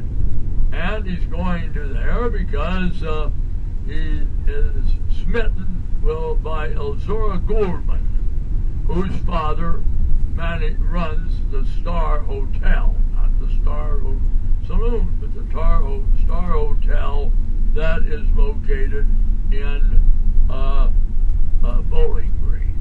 Now we're backing, we're doing a flashback to, War, to uh, Washington. It is noon, also in Washington, on the uh, on the 24th day of, of April. A message has come in to Lafayette Baker, head of the uh, Secret Service, which is tasked at that time to catch counterfeiters as well as Confederate spies and problems. And it comes in and they say, uh, back on the 16th, there was a suspicious two men down at Boyd's Hole near Quantico on the Virginia side. One of them is on a is on a is on crutches, uh, on a crutch, and he's a rather handsome devil, and we think he could be John Wilkes Booth and his accomplice. Now the everybody knows about the reward. So Baker immediately sends for Everton Conger, who is on crutches. He's been wounded at the Battle of, of the uh, uh, Staunton Bridge down in Southside, Virginia, on the first day of June. And he's on the uh, first day of June of 64. So he's working on detail with Lafayette Baker. And Lafayette Baker, uh, comes, and he is the superior of Luther Baker. Luther Baker is Lafayette's uh, Baker's nephew. And he says, I want you to go down to the landing down by Maine Avenue. Uh, there is no Hains Point at that time and I want you to charter a steamboat. Here's my, uh, my identification, and you're going to charge it to the United States office for which I work. And you're going to charter it for taking, straight ahead, we're going to charter them for, you're going to charter the boat to take you down to uh, the, uh, down to the landing uh, for Fredericksburg. Uh, Bell uh, down to the landing, and here here's orders uh, to uh, our commander here in the District of Columbia, and he's going to detail a cavalry detachment to you. The cavalry detachment will be commanded by uh, Lieutenant, the First Lieutenant Doherty, born in Canada, uh, born in Ontario, and he has enlisted at Ogdensburg, New York, in the 16th New York, because New York gives a big bo- bo- bonus to people registering from Canada, because that takes them off their draft list that they have to provide. And he tells uh, Doherty, uh, you have a detachment, I can see. Accounting yourself, it's 26 men and I say, who's your senior NCO? And I say, he says, I've got a good one with me. It's uh, Sergeant Boston Corbett. He was captured by Mosby's men back at Chantilly in May of 18 of 1864, uh, and uh, he is spent until early March in Andersonville and has been released from Andersonville. He's in good shape and he's back to duty, a good soldier. He's 46 years old. Now, it does not, you do not have very good medical expenses because uh, we know something about Boston Corbett that the Army doctors haven't caught. Uh, he had let, moved, he had been a uh, hatter in England, converting uh, beaver skins using mercury into fancy hats. In 1851, he emigrated to the United States with a wife and two children settles in Boston. And goes back into the hard hatter trade. An epidemic will come through New England, and Corbett's William Corbett was William Corbett was his name, and he will uh, he will uh, uh, lose his job and uh, uh, become uh, and his wife and two children will die, and he'll become a derelict, wandering the industrial towns of New England, and he finds the Lord in Boston, a female evangelist he will listen to, and he finds the Lord, and he will change his name to Boston Corbett, uh, his first name to Boston, because that's where he found the Lord and found salvation. And he becomes a street corner evangelist himself. But one day, he's tempted by a prostitute. He doesn't succumb to her wiles, but he is tempted just like uh, like Jimmy Carter had lusted for a woman when he was younger years and should not have told through magazine about it because they give a lot of publicity. But Boston Corbett decides he's going to punish himself for what he did. So he's going to get a straight edge razor. It's not going to be uh, sanitized, and he's going to castrate him. He's not going to do a vasectomy. He's going to castrate himself with a straight edge razor. Almost dies of it, but it doesn't keep him out of the army, doesn't keep him out of being a sergeant, and he is a senior NCO. Now go and look on your map, and you're going to see blue arrows coming out of uh, out of Washington on the 24th, uh, going down the Potomac River uh, to Belle Plaine. Belle Plaine is a seaport on the Potomac River for Fredericksburg. They'll get off the, uh, uh, the George S. Hyde at Belle Plaine.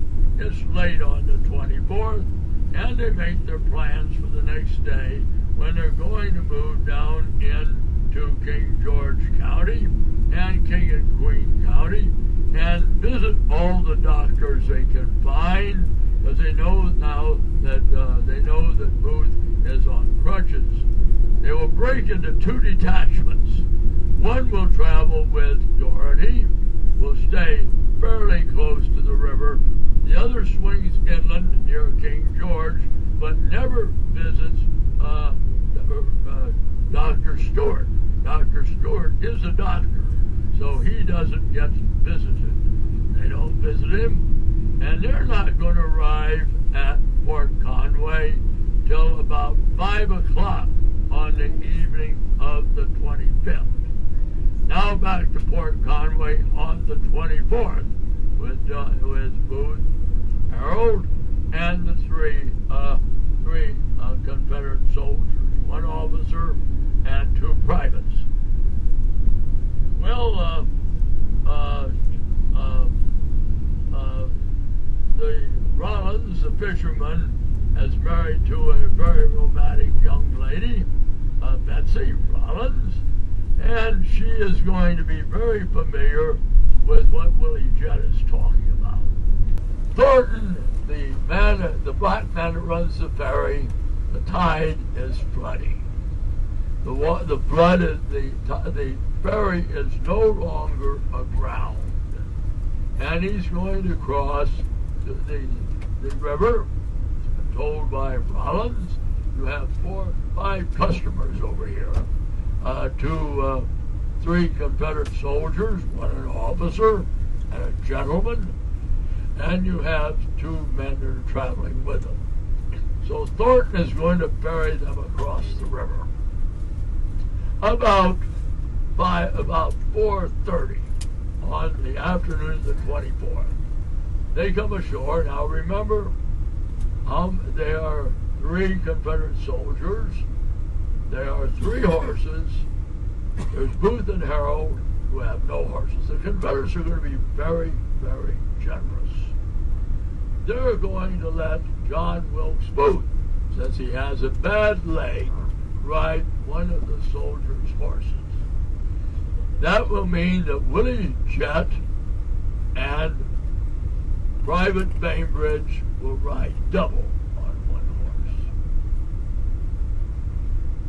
horse. Booth, and Booth is riding one of the two enlisted men's horse, and uh, the officer, being a gentleman, he's going to keep his horse.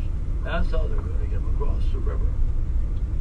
And that means that Booth is riding a horse, a double, uh, uh, has a horse to himself, and uh, Bainbridge has a horse to themselves, and uh, they uh, a jet, and they're riding double. So they come up here on the river, and they first saw at Randolph Peyton's house. That's the fancy house I saw. Randolph Peyton is not home. He's a lawyer. He's got law business. And at home is his two older old maid sisters, Lucy and Sarah. And Jett knows them well, he says, I've got two friends of mine I would like to you to put up. Now, this is in a different time than today. And Booth is not the handsomest man in America now. He looks rather rough. And and Lucy says, uh, Lucy says, what will the women say if we have two men staying in the house tonight with us? They'll think we're having a fling with these two men, and they cannot stay here. But the Clampetts across the house are Confederates. Why don't you try that? It's not Jed, but it's another family, Clampett, but they're not at home. So then Willie Jett says, so Willie says, I know, I know Mr. Garrett. He has two sons in the Confederate Army. I know him well. And let us go up there and see if he will be congenial and allow John Wilkes Booth to spend the night of the 24th with him with the assurances that we will come back and get Booth on the evening before the evening of the 25th. So they land and they drive up. Jett opens a conversation with Richard Garrett, 60 years old, house full of younger kids, and he says, Will you take care of this Confederate soldier with you, with us here, uh, J.W. Boyd? And we'll put him up for the night, and we'll come back sometime late the next day, which will be the 25th, and pick him up. And Mr. Garrett is very delighted with that. We'll talk about Booth's last happy night and day on this earth, uh, up there near the site of the Garrett House. So they start on. Now it so happens down the road, before you get to uh, uh, about four miles down the road, is a house. I have to be careful because some people here aren't very worldly. A house of assignation. In other words, a whorehouse. Run, it's known as the Trap. It's run by Mrs. Martha Carter. And I'll tell you how good it is. I can give you the names of her three daughters because the guy got so interested in them and spent a lot of time on the uh, 1860 census finding a Martha Carter with daughters who would be probably 8, uh, 20, 23, and 25 years old. He finds a house in this district with that. So undoubtedly he discovers the names of the daughters. So they decide we better stop. Now Willie, what a horrible boy Willie is. Because he's going to stop there too. Now remember, his fiance is Izora Gouldman that lives up at, at, at the Star Hotel. Her father owns it. And they stop in and they have fun and games. They entertain they entertain Davy Herold. Entertain, now remember, Bainbridge shouldn't be entertained that way. He's an officer and a gentleman. But, he, but he's not that big of a gentleman. And they play fun and games with the three Carter daughters. With the three Carter daughters, the two soldiers, and, uh, and uh, Davy Herold. Then it's on to Bowling Green.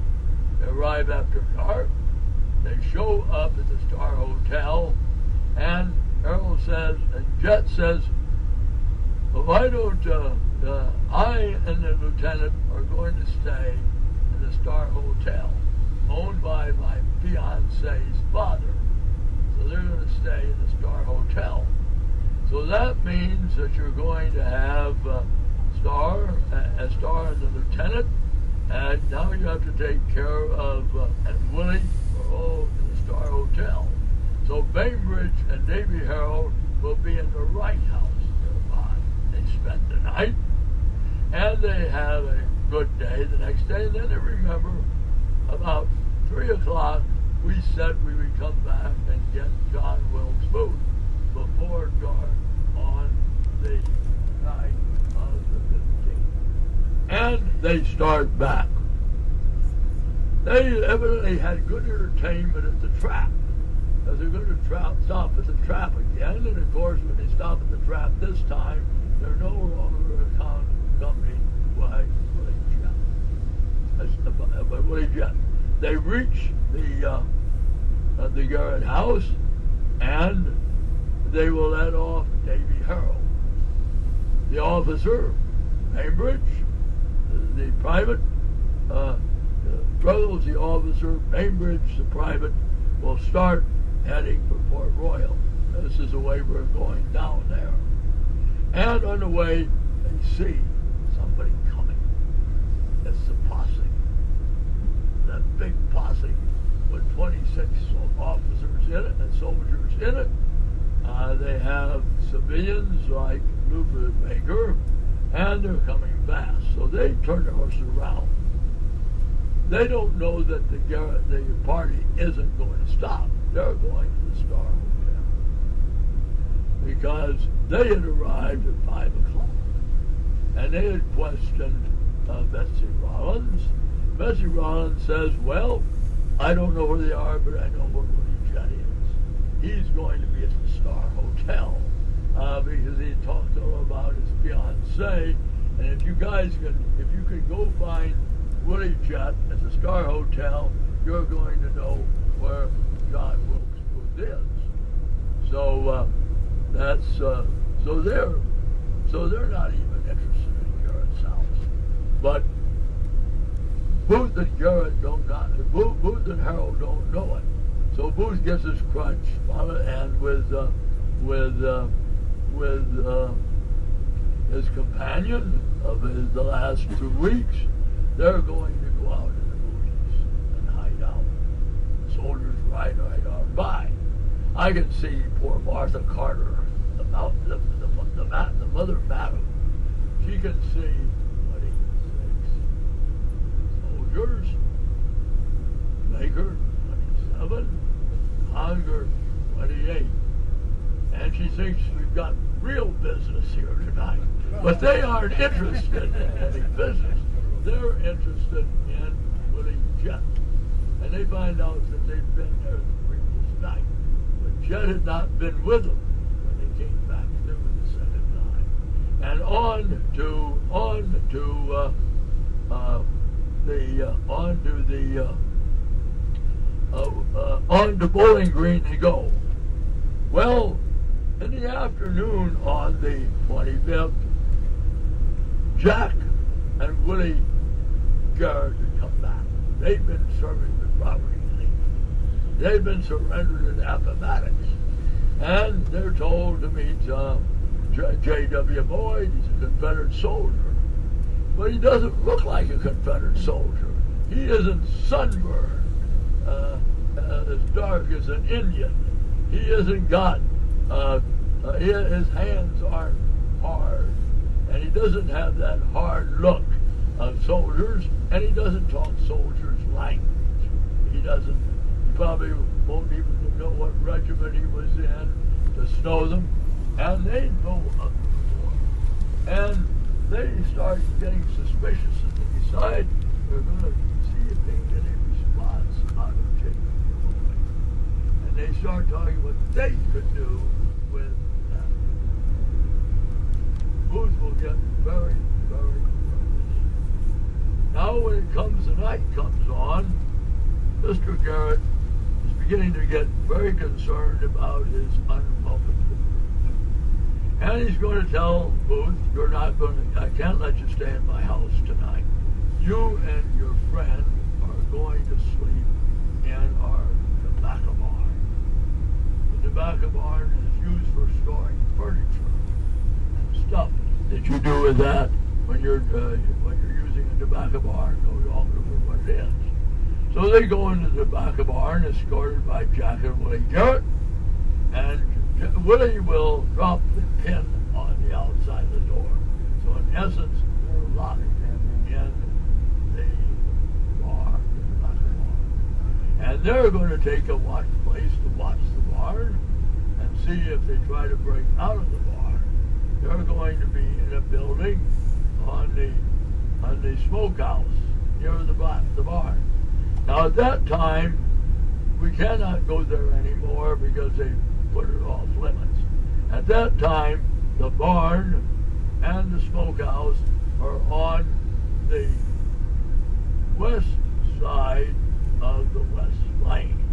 The house is in the medium strip between the west and north.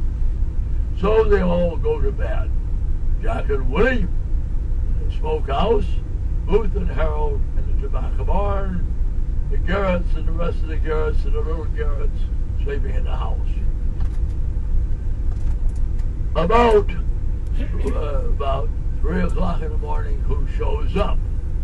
This is going to be, and then we're going to pick it up when we get on site. This is going to be the posse, which I'm calling them. The uh, 28, uh, 26 soldiers, the two civilians. There you got, you see the picture of the Garrett house, and uh, and the, the the front of the house would be it's roughly 30 feet in width. It is about 15 feet in depth. And it was set on brick, uh, brick uh, pilasters or columns off the ground. There, Marty has a good picture of it. And that was uh, a, a brick, uh, that, this appears actually about in the north last, yes. There, there's a picture of the house. And uh, this, uh, so, and uh, that, and it fronts that way. It's got that broad porch. So the soldiers are going to arrive here. Now the original road is here. The new road that didn't exist at the time is the southbound lane. And they're going to come in here. Now they have with them Willie Jett, and he has, a, has bracelets on his wrists. There's a large tree at that time in the front yard of the Garrett uh, farmhouse on the right side of the house be very, very important. Now they uh, uh, they they get off the horses. They put Willie uh, Jett will be guarded by a couple of soldiers, and he's going to be placed under that tree.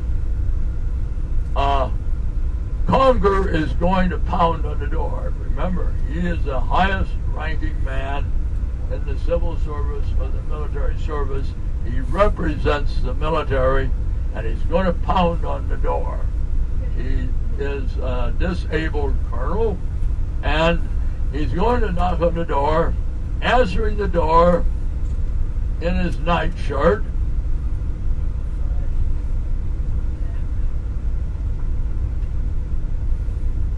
All right, here you have again the house. Remember, when you look at this, this is the way the house fits and you can see the tree, the locust tree. And he knocks on the door. Mr. Garrett answers the door in his nightshirt. It's probably a horrible sight because he's rather cadaverous in a nightshirt. And they say, We want to talk to you. And he's going to say, uh, is, uh, is John Wilkes Booth here? And Mr. Garrett has a bad habit of stuttering. So they say, Come with this. They're going to take him over the locust tree and put the rope around his neck. They're going to be good at practicing the Miranda rule. And they're going to lift him off the ground. And he's going to be gasping for air. And they let him down, and he's stuttering when he comes down. And they say, Where is John Wilkes Booth? And he can't make himself understood. He's stuttering. So they again repeat the treatment of lifting, putting the rope around his neck, lifting him off the ground, letting him down. Then one of his sons comes across. Remember? The, there is no uh, southbound lane. He comes from the barn, uh, tobacco barn, comes from the uh, the uh, the uh, the uh, meat house that he's in, and says, uh, uh, "You can you can quit questioning my father. I will tell you where he is." Booth and Herold are in the tobacco bar. my brother is over there watching them because we the the door has been dropped. They lock it by a pin dropping through it outside, and they can't get out. Okay, so they're going to lock one of the Garrett boys up, cuffs on him. Old man Garrett, and still in his night shift with cut with uh, uh, cuffs on him, uh, and uh, one of the uh, one of the brothers and they're going to send the uh, the older brother, and he's going up there, and he's going to inform them that the, the soldiers are here, the building is surrounded, and uh, you, you want to come out and surrender because uh, I'm going to take the pin out of the door. They get some horrible profanity outside the, from inside the house and uh, Herold has suddenly decided, I want to surrender. I'm not going to fight it out. And Booth will call him every name you can think of, generally on cowardice, uh, your genealogy, and he finally says, Booth is coming out. Uh, Herold is coming out. Don't open fire. So Herold will come out the door. He'll be secured, cuffed, and taken under the uh, the tree, which is getting very crowded. They now surround the house of the tobacco barn. Its long dimensions are east and west. And a Conger will go around the house with some satch in his hand, which he's going to light and thrust through one of the interstices of the tobacco barn and see if he can start a fire inside. They're going to burn him out. Booth is going to send a challenge out since he now has the Spencer carbine. He says, I'll come out and I'll fight you one at a time. one at a time. Well, we're not going to negotiate. You're going to surrender. Uh, we're not going to come out and have this one at a time uh, duel with you. And uh, on the south side of the house, just uh, near an interstice, is Sergeant Boston Corbett. They again have informed him they will we want the Secretary of War. Now, uh, we can remember when the crybabies used to be crying about Rumsfeld. They would have, I don't know how they would have felt if Stanton was their boss. I don't know how, because if, if Rumsfeld can make you cry uh, about him being a tough fellow, uh, he couldn't carry a Stan, uh, uh, he couldn't carry uh, a Stanton stick, and and the fire goes into some bedding, and it catches fire. From from the interstices they can look through, and they can see Booth inside. He is on. He's supporting himself with a crutch on his left under his left arm, and he starts moving toward the door. The door is again in the east elevation of the building. And as he moves toward it, uh, he drops the crutch and then is hopping. Then bang! Boston Corbett is fired. Bruce falls. Soldiers dash in. Conger sends Doherty around and find out who fired that shot. It's easy to find whose pistol is hot. It's a Boston Corbett. And they've gone in and they grab Booth and bring him out of the uh, door. Him across, and you can see that porch. They're going to put him on the porch, on the west side of the porch, and his butt is going to be sitting on the porch, and his legs dangling off the edge of the porch. It is now after five o'clock. They send into Bowling Green to get a, a doctor to come out and pronounce uh, uh, and examine John Wilkes Booth. And uh, they have now put shackles on Boston Corbett. So they've got a big group now out there under the uh, locust tree. And their uh, booth is going to be very groggy. Now, at the, uh, at the Armed Forces Medical Museum, along with Sickles' leg, they have uh, uh, Booth's uh, vertebrae.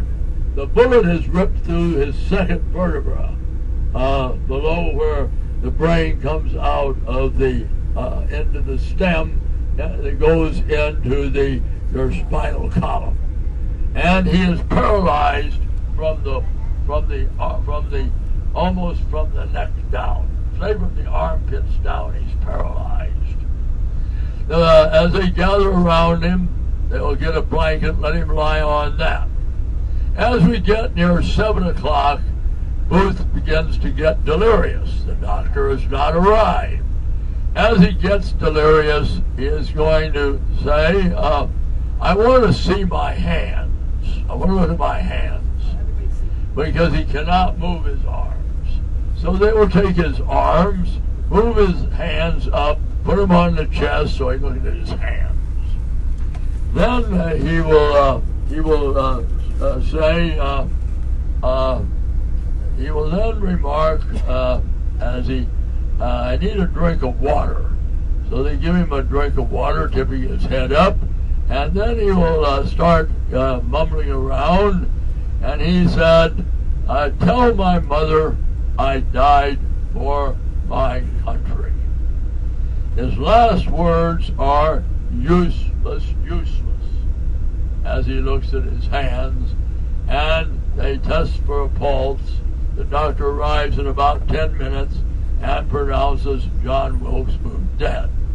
So Booth is dead, and and uh, and Conger and Doherty and Baker are very very worried. What is Stanton going to say? So it's decided that we're going to let Doherty stay with the troops. Uh, he's going to escort all the people who are under arrest and shackled, which will be, of course, Davy Herold, Willie Willie Jett, uh, the uh, uh Mr. Garrett, the two Garrett boys will all be going with them shackled. Uh, Conger and Baker will go on ahead. They arrive at uh, the Belle Plain and they go aboard uh, the uh, they go aboard George S. Ide. And in an hour, they're in Washington, and I know how scared they are because they've got to report. And the first thing, they're going to break the ice. They're going to take the things they took off Booth's body. They're going to take the five, four pictures we'll point out to you tomorrow of the four actresses. They're going to take the period of uh, the daughter of uh, the senator from Maine, Lucy, who he has in with his four mistresses, the actresses.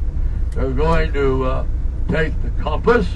They're going to uh, take the memorandum. Now, where is the memorandum book now? No one is going to know because it's in Stanton's custody, and he never turns it over to his replacement of Secretary of State. And uh, they will then finally say, and this is going to be maybe these guys that come up with theories have Stanton behind it all. Because they say, by the way, Booth is dead. He was shot by Boston Corbett, Sergeant Corbett. Corbett is under arrest. And Stanton doesn't go into a rage. He's famous for his rages. He says, well, well, shrugs his arms and says he's dismissed. So when you're going to be a theory on it, you're going to have Stanton involved in the assassination. So uh, that's going to give everybody there are going to be more theories on this than there is John F. Kennedy. Now, uh, Mrs. Surratt is going to uh, get the former Attorney General of the United States to represent her.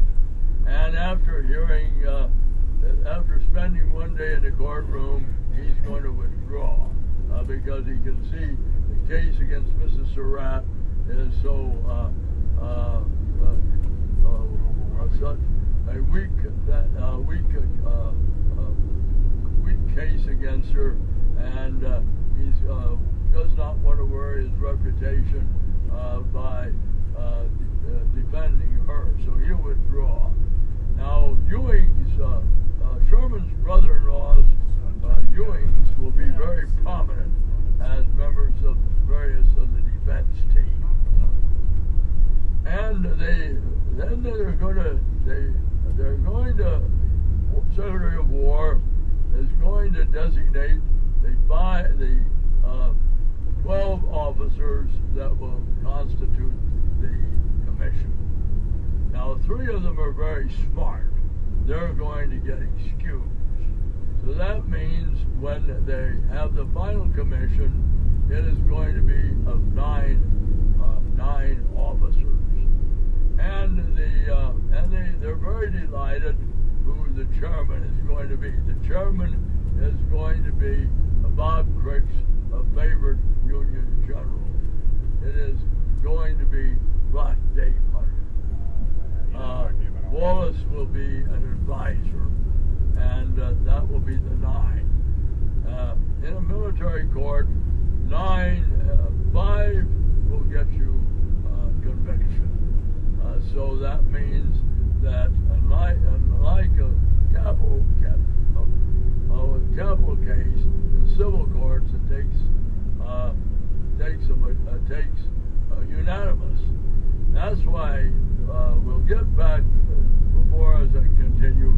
Someone has happened about wants to know about John Surratt. Now, John Surratt was an important conspirator and uh, would have had an important role if they had kidnapped Lincoln. Uh, he is, they find out by visiting his mother, that he is in uh, up in Elmira, New York, snooping around the Confederate prison, the Union camp for Confederate prisoners. Now, Elmira, percentage-wise, is the most deadly prison camp north and south. More uh, percentage-wise, Andersonville, however, has the far larger number of deaths. And he is, it is on his uh, 21st birthday, and he reads that Booth has assassinated the president, and he immediately heads for Canada. That's where the uh, Confederate agents like to congregate in Montreal, Canada. And the Jesuits, knowing how uh, anti-Catholic the United States is at this time, will uh, be very kind to uh, make sure that uh, uh, that that uh, Surratt will be in a Jesuit house, that he will not have, he will have a good place to stay where the people will be sympathetic with him and not to these people uh, trying to get him extradited from Canada. So he'll remain in Montreal until they begin to put pressure on the Canadian government uh, to uh, maybe think about extraditing uh, John Surratt. So the Jesuits say, we've got even a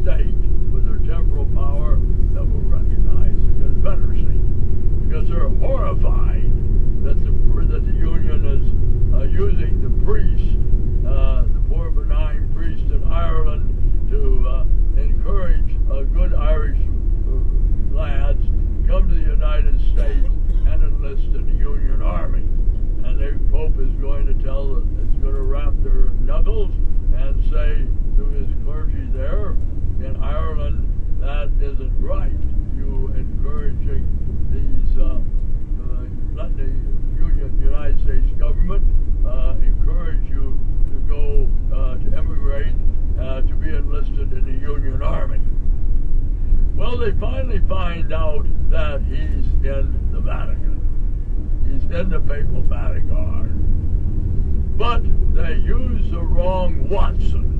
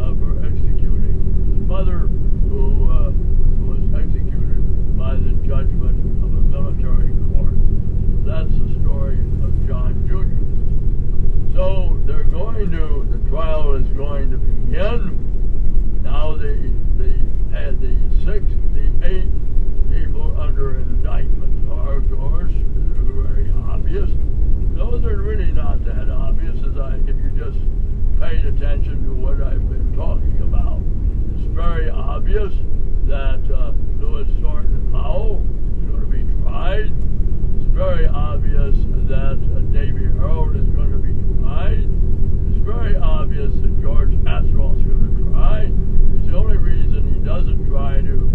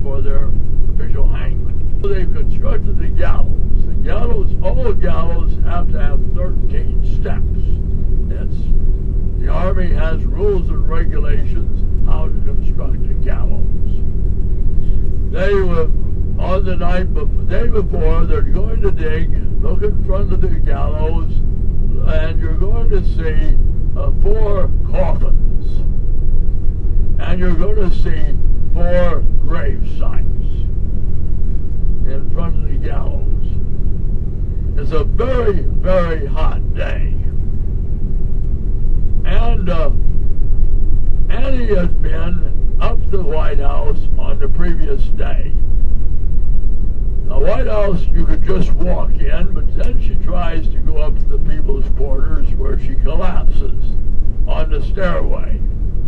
Mrs. Patterson, is acting as First Lady, she would be a daughter of President Johnson. She comes, one of the White House uh, attendants comes and say, uh, Annie Surratt has collapsed on the steps and she wants to talk to you. So uh, Mrs. Patterson will be escorted to where Annie is collapsed. When they revive her, she says, as the president read uh, my, uh, my mother's file, because when it comes over to her, it'll be brought over by the Judge Advocate General uh, from uh, from Kentucky, and the jacket, and he's tagged everything the court wants yeah, the president to look at to make a decision on his if he thinks these problems that the minority of the court have with the conviction of Mary Surratt uh, getting the death penalty. And she says, yes, I will check with my father and see if he's seen the, seen the file. This is known over at the uh, at the court that day. Now, General Hancock, Hancock the superb, ain't as superb as he used to be. His Gettysburg wound has not done not done him well. So he is now the commander of the department that includes the District of Columbia. So he is in charge of the hanging. Now he knows that the president, uh, he hasn't heard from the president. He hasn't heard from the White House. So he's going to have a, he has both a telegraph line to the White House and he has a system of couriers linking with the White House. And he is going to delay. Meanwhile, Christian Rath is doing his, uh, Christian Rath is doing his business. He likes Powell. Uh, he knows Powell's a big, powerful man. He's not a whiner like uh, or Davy Herold. And he makes, uh, he's going to be very careful how he adjusts the loop of the hand, the eight, uh, the seven knots around his neck, because he wants to make sure that Powell's neck will be broken when he's dropped. Since he's convinced that Mrs. Surratt is going to be uh, uh, uh, pardoned, he only puts five knots on her. After all, she's not going to hang. Hancock waits to 115. The talk is now going toward 120. And Hancock hasn't heard, and he gets nervous. Now, the man is going to give the order to the soldiers. They do not have a trap door. They have a trap door, but it's not a spring. The trap door is held up by eight by eights. As you look at the look at the gallows, they're eight by eight. Hold the trap door in position. They're, they are very kind to them. They have uh, they have umbrellas for them uh, to uh, shade them and the one where they're reading the sentences to the various ones. You can see Rath in one of them uh, adjusting the uh, the blow up of it, which you can see of him adjusting the uh, uh, rope around Powell's neck. They all they also are going to be very prim and proper. They're Puritans. Going to do not want to embarrass Mrs. Surratt if she's going to hang so they're going to tie her petticoats and her skirt to her ankles so they will not fly up and uh, when they when they drop her. Hancock finally decides I can't wait any longer. I'm going to get in deep doo doo, and uh, he will then uh, uh, uh, signal to uh, uh, give the men on the sledges because they're going to knock the props out and drop them. So they swing the sledges and they drop, and you can see one of them in a picture. They're hanging, they drop, and they notice that Powell is is, is moving his legs. Uh, he seems to be struggling. Powell will, in spite of Grass' skills as a hangman, the Army's official hangman, is not. Uh, Powell will strangle. Uh, he will not be taken down for 16 minutes. And uh, they will uh, then uh, dismiss the, uh, the crowd. It's the biggest scene in town of getting